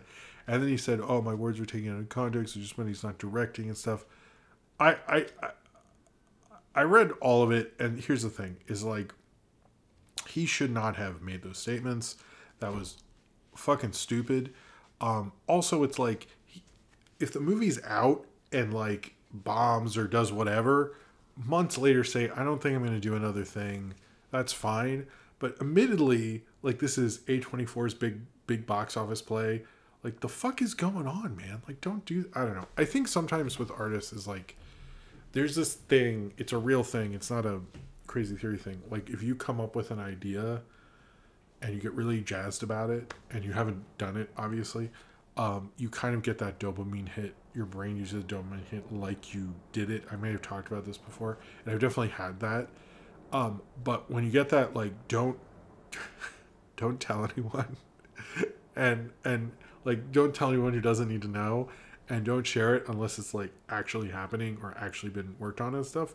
And I think too many people, especially like retiring and leaving, if you're a celebrity, like it's like I think it sort of worked out for Jay Z, but would it have been better if he just didn't make stuff for a few years? But then the Black album wouldn't be as good, so I don't know. But um, like the retirement thing is such a theme of that album. But I do kind of feel like with Alex Garland, it was like a mistake. It's also like the second time Kristen Dunst, Kirsten Dunst has been in a movie where the director has like completely fallen on his fucking face publicly. Um, I I don't I don't know what he's doing with this. I think he's he really fucked up. Um, saying things like that and clearly like the publicist for the movie is probably like, dude, like it, that's fine if you don't want to do anything after this, but like we're promoting this right now. Like, just I don't know. I thought it was very uh, a little stupid. I just, I, it's like if you want to do that, that's fine, but like you know, they're probably gonna bring up your name for 28 Days Later movies had they done that, and like there's probably buzz about you, and you probably could do whatever you want after this, and like why don't you like think about what you're gonna say or like take just I don't know. I think a lot of people should just like disappear for a little bit and not make a big announcement. Like Cameron Diaz didn't say anything; she just disappeared, and now and then people want her back. Like I think that works out better for you in the long run, to be perfectly honest. Anyway, I thought it was a very odd, um, weird public statement situation. Um, so we've gotten a Bambi horror movie trailer today. I gotta say, um, what was it called? Sorry. Um, I gotta say, of all the Bambi the Reckoning, of all the this is a fairy tale now it's a horror movie things, I think this is my favorite idea because Bambi has a reason to fucking kill people. Like definitely Bambi does. So like I really actually I was like I was like this is the best idea. I'm into this. I sort of regret now not reviewing the first Winnie the Pooh thing, um, even though everyone told me it was bad because I'm I'm into. I will see the Oswald ones. Uh, maybe I'll see Bambi the Reckoning whenever it comes out. We'll see, but I, I'd be interested in it. Um, we got a first picture of Moana two. Looked okay, I guess. Same with like the Mufasa prequel. I'm like, sure. I'm assuming we're gonna get more of that maybe next week, but we'll see. Uh, Bambi's mom's death is overrated. I don't know. You know Bambi's right here, man. Come on, that's not cool. Um, uh, and also, Delroy Lindo is going to be in the new Ryan Coogler 30s vampire film. Uh, I, I like this because Delroy Lindo doesn't get to be in a lot of huge stuff, and I think that's uh, I think that'll be pretty cool. So I'm excited for that. All right, so we're gonna do some obits, and we have some real big ones actually. Um, first off, Joe Flaherty, who um, was the father in Freaks and Geeks, as well as on SCTV, as well as apparently sort of in Freddy Got Fingered, uh, died this past week. Um, one of the great comedic geniuses and underrated character actors of our time, um, and very sad to see him go. If you've never seen some SCTV, look it up. True genius at work, and I thought I, I really fell in love with him on Freaks and Geeks, and he did such a great performance um, in that show. Whereas where I really fell in love with him, um, and then I saw SCTV and stuff, and um, but I wish he had been in more things, and uh, um, I feel bad for his family, as well as uh, Lou Gossett Jr., who I don't know him. So like I mainly know him from Jaws three, and I don't think you guys want me to say Jaws 3, I should say An Officer and a Gentleman. He's the first black uh, actor to win Best Supporting Actor, which is amazing. But I may, I, I'm sorry, I, I mainly know him from Jaws 3 uh, or Jaws 3D. Uh, but um, I, I do, I always thought I liked him a lot. He is an if uh, or imaginary friend. I think that is. I actually, when I saw the poster, I kept saying Lou Gossett Jr. Like he's one of the names. I thought that was really cool that he's like coming back. So um, it's sad that I'm assuming that's his last thing. I don't know, but I'm glad that he's getting. I don't I have high hopes for that movie at all, but I I do think he um. Uh, oh, I have a thing about that. I'll say it after the obits, and then um. Finally, and someone brought this up. uh I never saw Enemy. Em, well, no, I saw Enemy Mine on a sci-fi channel so long ago. It, it anyway. Um, I don't really want to say that, but I lost Mario Kart. Oh, I'm sorry, man. You know, I like playing as Dry Bowser. Is like my guy right now. I gotta say. Anyway, we play Mario Kart a lot since we got the Switch. Um, this one, so MD, MD brighter MD Doc Bright, I keep saying. Um, he was a comic book artist who died and at first i felt like when i looked at images that people were posting but the one that i gotta give it up for is this transformers comic um uh where it's uh what's it it's um shockwave on the cover and on it in the background it says are all dead that image has struck me since I like when I first started getting into comics. It was about seven or eight, and I looked through back issues, and I I don't think the inside of the comic is as good as that cover. I I've definitely read the comic. I could not tell you what's in it, but I will remember that image for my entire life. It is such an iconic. Some of the Transformers covers of the Marvel Comics Transformers are fucking amazing, and that is one of them. It's probably up there with this Bill Sienkiewicz um, uh, first issues and stuff. But really one of the most iconic comic covers of all time. That's probably what I will always remember him for. And RIP to him. Um, okay, so I did see um, before we take a break. So if is directed by John Krasinski, and I note I saw a couple people t- tweeting it as directed by John K. and people who are like, "What?" And I I saw it was taken down pretty quickly, but um. Anyway, that was kind of funny. All right, I'm going to hold on. I gotta set up my thing here. Um, people corrected that real quick. They're like, "No, I don't. I don't think you mean that, John K." Uh, I'm going to go to the bathroom. We're going to do an X line. Really, the the segment is going to be real quick because it's just X Men '97. Um, uh, so then we'll we could just do questions and we can hang out for a little bit. Uh, oh, those were joke tweets that got out of hand. Okay, they were funny though. Um, okay, I actually thought okay, they did get out of hand because I was like, "What's going on?" And I noticed they got deleted, and I was like, "I'm confused." Um, all right, I think this was a fun show. I hope everybody had fun. Too. Can you hear that wind? Jesus. Uh, I'm going to use the bathroom. I very much need to pee. We're going to do X Men 97. We're going to do questions. Then we're going to wrap this shit up. So I will be right back. Thank you all for being here tonight. And enjoy the uh, awesome image from Ace the Wind Rider who you should check out his links in the description, and I will be right back.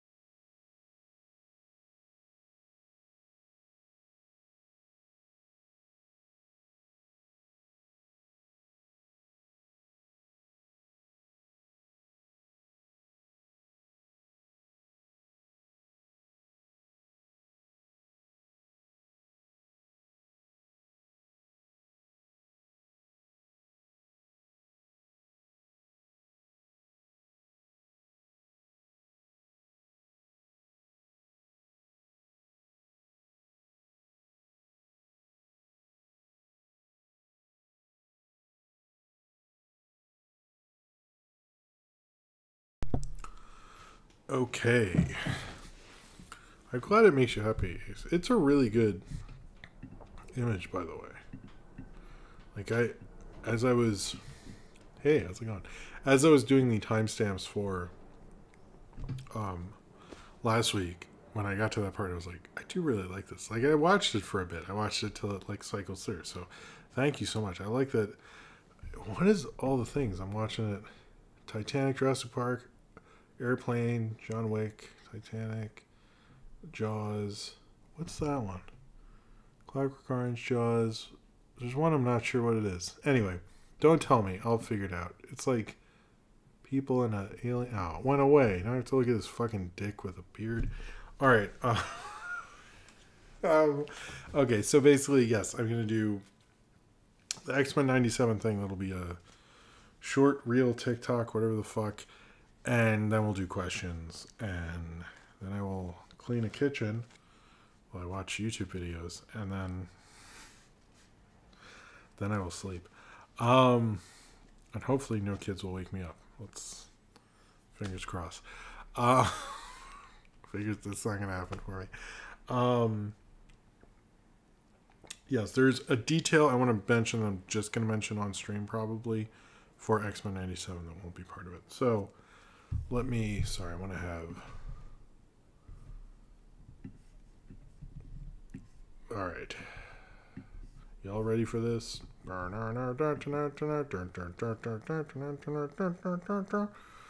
Sorry. Let me just take a swig of this.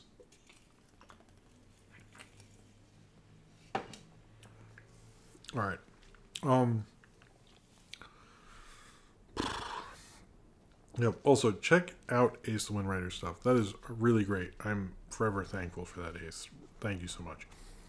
All right. So, um, sorry, it's weird doing the TikTok thing live. I don't know. It seems like people like the segments. I'm always concerned if it's like just me getting uh just I don't know, getting getting too much. I don't know. I I was I am worried sometimes of like are people into this part, but it seems like people are. Anyway, all right. So um, I watched the fourth episode of X Men '97, which is both a episode of Motendo, and then is okay. I watched the fourth episode of okay. I watched the fourth episode of X Men '97, which is half Motendo and then half Life Death Part One. Um, Motendo is really fun watching Jubilee go into a video game, which is extremely obviously influenced by the X Men arcade game, and I'd also say the X Men Sega game because I believe the second level is Savage Land, but maybe I'm misremembering the Sega game. Uh, and uh, it was fun watching her in Sunspot be in that game and like what it said about nostalgia, which is probably um, says a lot about uh, probably the show as well. Um, but it was it's always fun seeing a Mojo episode, and I, I, I like the kind of video game references, particularly X Men video game references, and uh, seeing that it was a fun, cool episode. I wish it had actually the whole thing was animated like a 16-bit video game instead of what regular animation, but it was still a lot of fun. Life Death Part 1. Um, I was a little disappointed that Life Death isn't just its own thing. It's a classic comic drawn amazingly well by Barry Windsor Smith, written by Chris Claremont. But it sort of just sets up the thing. Apparently, Life Death Part 2 is going to have a separate episode later on. Um, but uh, it sets everything up, and then we get a, a glimpse of the villain uh, adversary, um, which isn't really a spoiler, but seeing the thing with her and Forge, and it sets up exactly what Forge did in the comic as well. Um, I think it sets up for an interesting episode of Life Death Part 2, which we will eventually get in two weeks. I like this episode, although I worry that the X Men and X Men 97 is kind of going through a lot of comics very quickly, and I'm sort of feeling like they're very much on the edge of going into something, uh, covering something maybe like too quickly. They haven't yet, but it does make me a little nervous. However, I did actually like this episode, but I think it is, as of yet, probably my least favorite of the four. Um, there's oh, there's deep cut thing. Oh, they they reference the Capcom fighting games. I'm like, oh, I didn't know that. Okay, cool. Um, but yeah, the Life Death Part Two next week, according to Wikipedia, remember it is the fifth episode, and Life Death Part Two is the sixth episode, which is weird. I would have done Life Death Part Two, but I haven't seen those two, so maybe we'll see. And then apparently Tolerance Is Extinction is going to be the last three. So I'm curious what that's going to be. Um,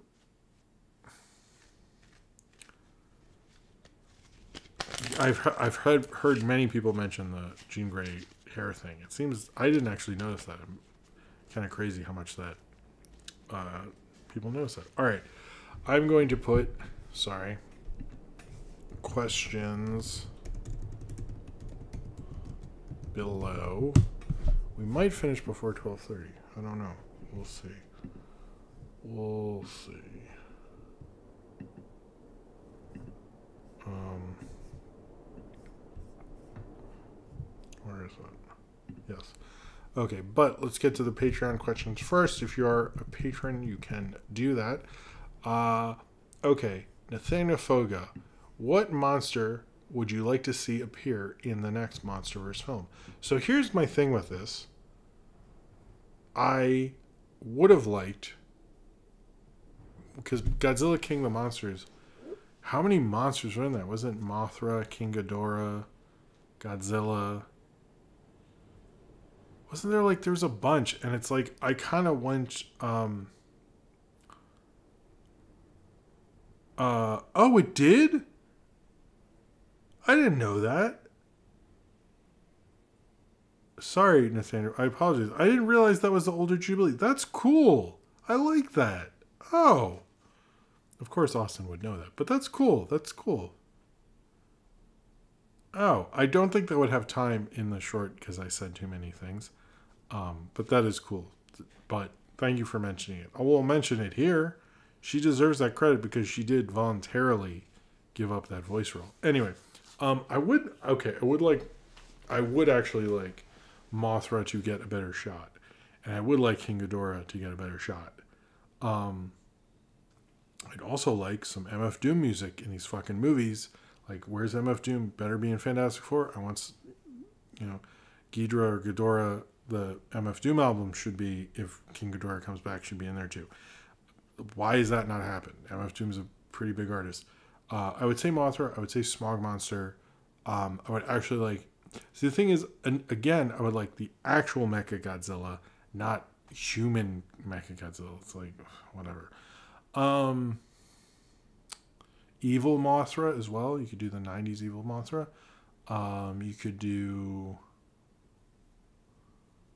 I feel like there's like somebody else. Or have they done Anguirus? Have they done Anguirus? Man, I should probably rewatch King of the Monsters because I forget how many. But Anguirus would be cool.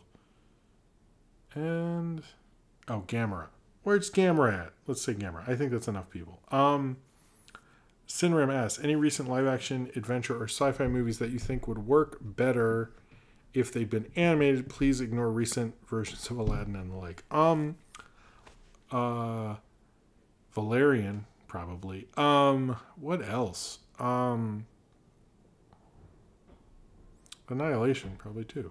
Uh, actually, I bet you the Matrix Resurrection sci-fi movies.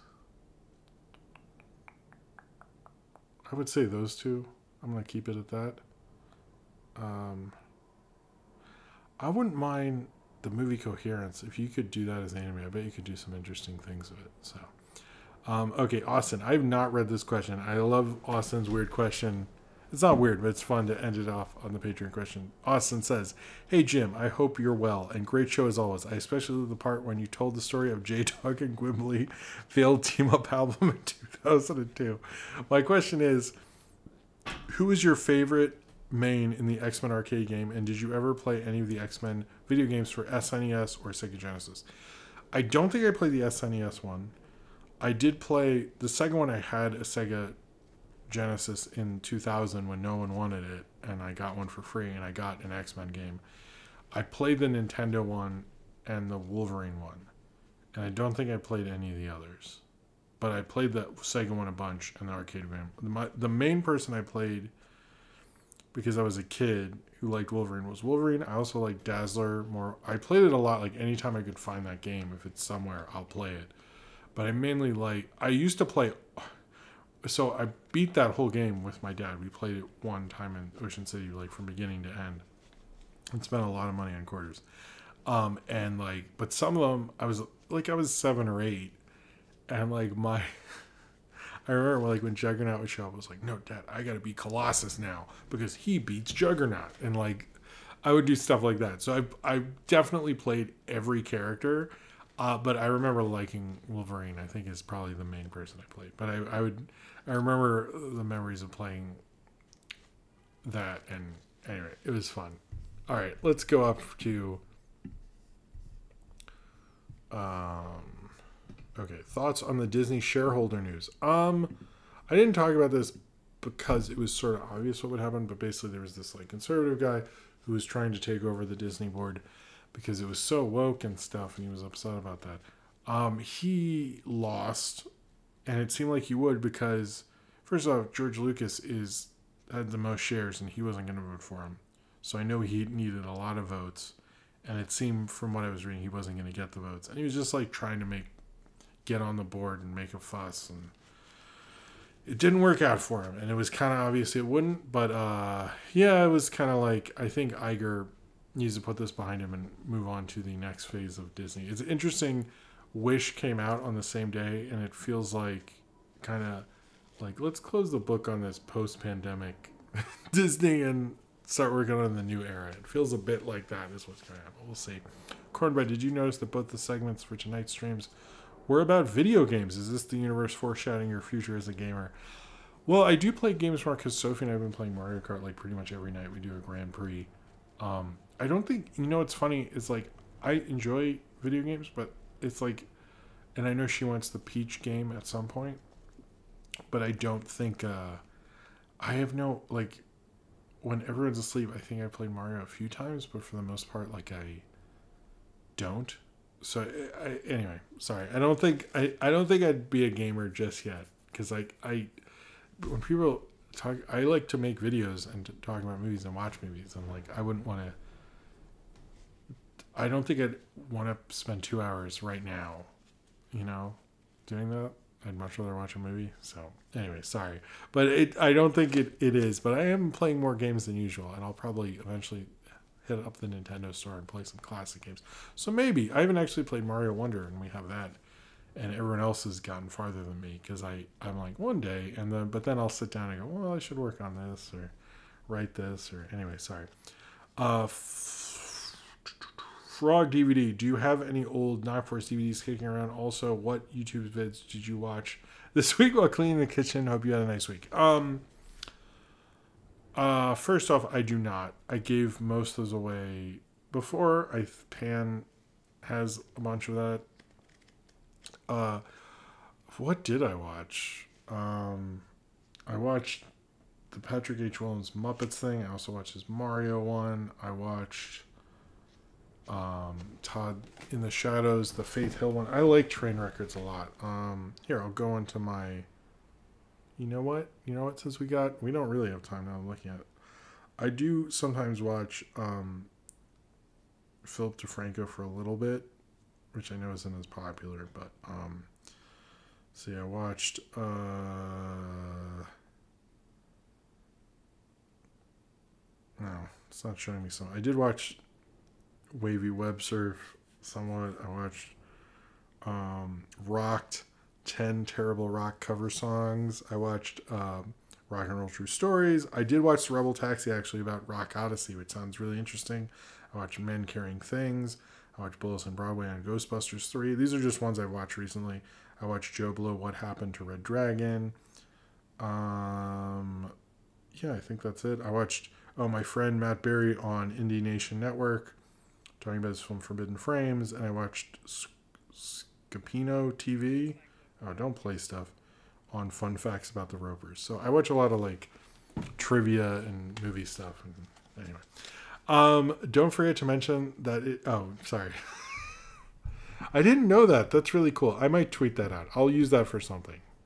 Austin, thank you for saying that. I didn't know that. That's legitimately cool. There's so much to talk. You know what? I gotta say, there's so much to talk about in each episode of the X Men.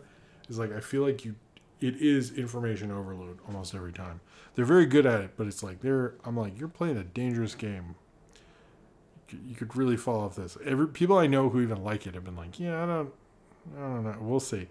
Uh, Zane Powers, do you know how immensely disappointed I was that you said you wouldn't get all these annoying phone calls and Izzy didn't then call you. that would have been funny. I like that. Uh, are you going to get more Swedish Fish energy drink? Uh, I'll drink some now. I don't know. I see the thing is, it's like I usually get on the weekends when I'm like shopping with the kids or something, and I think that's probably what's gonna keep happening. But I might just end up with Ghost because they have a fridge, like Monster has a fridge and Red Bull has a fridge, but they're like near the registers, and Ghost is like in the perfect spot while I'm like waiting for registers to get. So I think that's why Ghost has continued to eat. But there's a lot of flavors. I would get this again. It is tasty. It is tasty. It says natural caffeine, so oh, it's only five calories. Oh wow, this is healthy. Okay. Hmm. Anyway, good for you. All right. Um. A question: Have you ever had Shack soda? No, I haven't. I'd be, I'd be intrigued too. Medela Butterfly, excited for the new Dark Universe movies or whatever they are being called. I assume, oh the Wolf. Oh, I didn't talk about that. And that was. I'm excited for those two. I like the Invisible Man one. I'm assuming that's what you're talking about. Um, uh, question: Have you ever read the list of whitewash films on Wikipedia, and do you feel any of them are a stretch? I have not. Uh, how about this? Zane Powers, post that on the general Patreon, on the general Discord, and ask me that question again next week, or I'll answer it. Actually, how about this? Ask me on the Discord, send me the link, and I'll come up with. Uh, uh, if I feel any of them are a stretch on there, and I'll answer it there. Sorry. Uh, Jim, you pronounce Wikipedia, Wikipedia, sorry, the way I pronounce the prestige. Um, I actually did that because it's a reference to community, but it's actually a reference to how Izzy used to say Wikipedia on um, Pizza Party. So it's sort of an Izzy reference, to be honest. Austin, do you think we will get Jet Jaguar in an Adam Wingard Godzilla movie? Um, no, but I was surprised, maybe. Although I didn't notice, like, remember there's that talk of like why Doug Walker was almost in the first one, and I was like, is he in the new one? I I imagine I don't know. We should get Doug Walker in a Godzilla movie, but to me, it's like. If I was gonna be in a Godzilla movie, I want to be in a Toho one. Like an American one, it's like that's neat. And I, I do like Adam Wingard, but like that's not a real Godzilla movie. You know what I mean? Like it's like unless Toho, I know Toho signed off on it, but like, you know what I mean? It's like Godzilla minus one's like a real Godzilla movie. The American one's like eh, you can have your fun, guys. Is not anyway. Uh, Zane Powers, whose death is more ever? ever Jesus, I I guess Bambi's mom. She, Zane Powers. That's a. uh, that's a funny one. All right. Anyway, mom's still alive presently. Cornbread. Today we found out that Tom Holland Spider Man was in an early draft of Madame Web. We even had some concept art from them. I saw that. I found out that concept art also, also worked on monster trucks. That's not a question, but yes, I, I saw that. I know they constantly been wanting Tom Holland to cross over with the Spider Verse thing, Spider, whatever that universe is called, and it hasn't happened yet. So we'll see. Austin, favorite memories of those Gwimbly games. I remember the fighting game, and his he was pretty good, but like he was never anyone's favorite. I feel bad for him. Uh, can you blow up Zorak for me? Of course. I love that. Thoughts. Also, her webs connects us all. Of course. Uh, what do you consider the weirdest Jerry Bruckheimer film, Nathanophobia? Uh, I watched Flashdance, and that is a little weird. It's like sort of almost a silent film, to be honest with you. 207 through 3. Now that the evil Nelson Peltz has been defeated, who do you think should succeed Iger? Um, I know there's one 20th Century Fox executive people are talking about. I don't know if there is a thing. Is it's like that's a tall order because of all the stuff you have to do while being uh, the head of Disney. That I don't know if there's an executive who could do it other than maybe Feige. Um, do all the public shit other than like a Feige or even a James Gunn. Um, I I and I'm not just picking the like because you really have to be a public facing thing. Like if you're Zaslav or I mentioned him, Drink, uh, I mean those guys they don't have to like do the Wonderful World of Disney. They don't have to do that stuff. So it's sort of like a it's a harder job to fill because that's not sort of a thing an executive normally does. I a lot of people have said, "Oh, well, Feige wants to be head of motion pictures and all this stuff." I sort of think if I was Feige, I would just keep doing Marvel shit. But um, I think an executive like that would be a good thing. But I don't think. Uh, I don't know. We'll see. Uh, but I, that's going to be a hard one. Uh, Lewis says, "Why'd you grow your beard out?" Um, because I was never great at shaving on time, and so uh, my wife was like, "You should just grow your beard out." Um, I'm not sure about it now because it is like kind of long, and I'm like, not sure if I should like just do a smaller beard for a little bit. But that was kind of it. My wife was just grown out, and I think it looks pretty cool. It looks better than, and I actually like me without the beard now. I'm like more into this. So, uh, Nathaniel Fogel, what's a live action show you would actually watch as a kid? I mean, Saved by the Bell, um, Pete and Pete, Salute Your Shorts, um, whatever that. There was some high school sitcom on Nickelodeon. King, uh, my brother and me, I would watch it every Sunday afternoon. Was it all? Did it premiere on Sunday afternoons? I don't know why, but I watched it every Sunday afternoon. I remember that specifically. Sam Powers, which celebrity handled handled Me to the worst, funniest? Um, worst. Huh. I don't know. Well, Cosby. Um, but than Cosby, um, huh. I mean Diddy because he hasn't gotten arrested.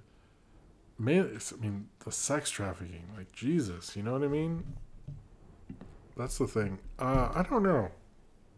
I don't know. I have to think about that. Um, wait, where do we go? Oh, sorry, I just showed up. Hate that my work schedule has gotten in the way of. Oh, I'm sorry. Oh, Emblood. Or, ah, okay, hold on, hold on. Medela Butterfly. Cheers to you for the dollar there. Thank you very much.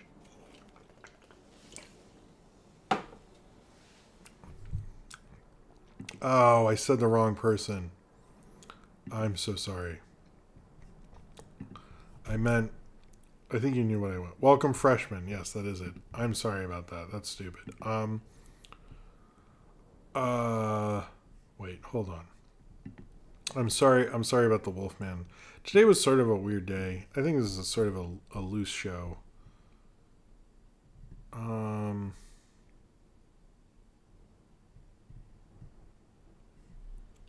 Where are we? Favorite character? Oh, favorite character to play in Mario Kart. Dry Bowser presently. Um. Where? Wait. Where are we? Okay. Oh, here we go. Here we go. Sam Powers thoughts on the white people who say the Good Times cartoon is racist. They can get fucked. Um, it looks like a cool show. Cornbread, hey, so I assume this is probably because of the character limit, but why is The Matrix with the Wachowskis in the title with all really no. Oh, did I say with? Oh, I meant without, and that was not a character limit thing. That was a mistake. I'll fix that. It might just be new Matrix mode. That was not a. Oh man, I wish. I wish that would be so cool if it was. Uh, you've told the story before, but it's still oh, okay. I'm I'm glad that it's still cute. Um, as a New Yorker, does the Disney news affect you? No, I mean I do.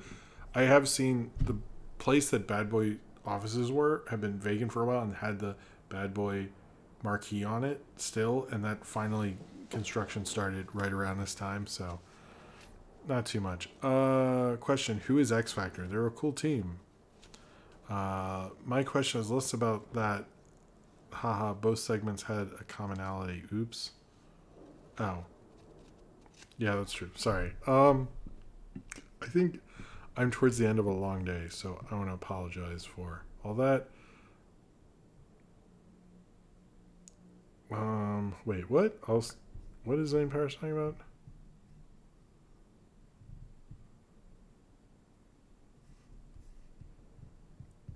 About this. Wait. Oh, well, I can see that mostly saw other black creators for it, so I could be mistaken. Oh, I, I don't know. I'm sure people did. Favorite episodes of Cheers, Unbox 64. I only know the first season really well, and I would say some of those one it had to be the first season because I don't know past the first season. Although I've seen the first season a couple of times just because I'm a very silly person. Um,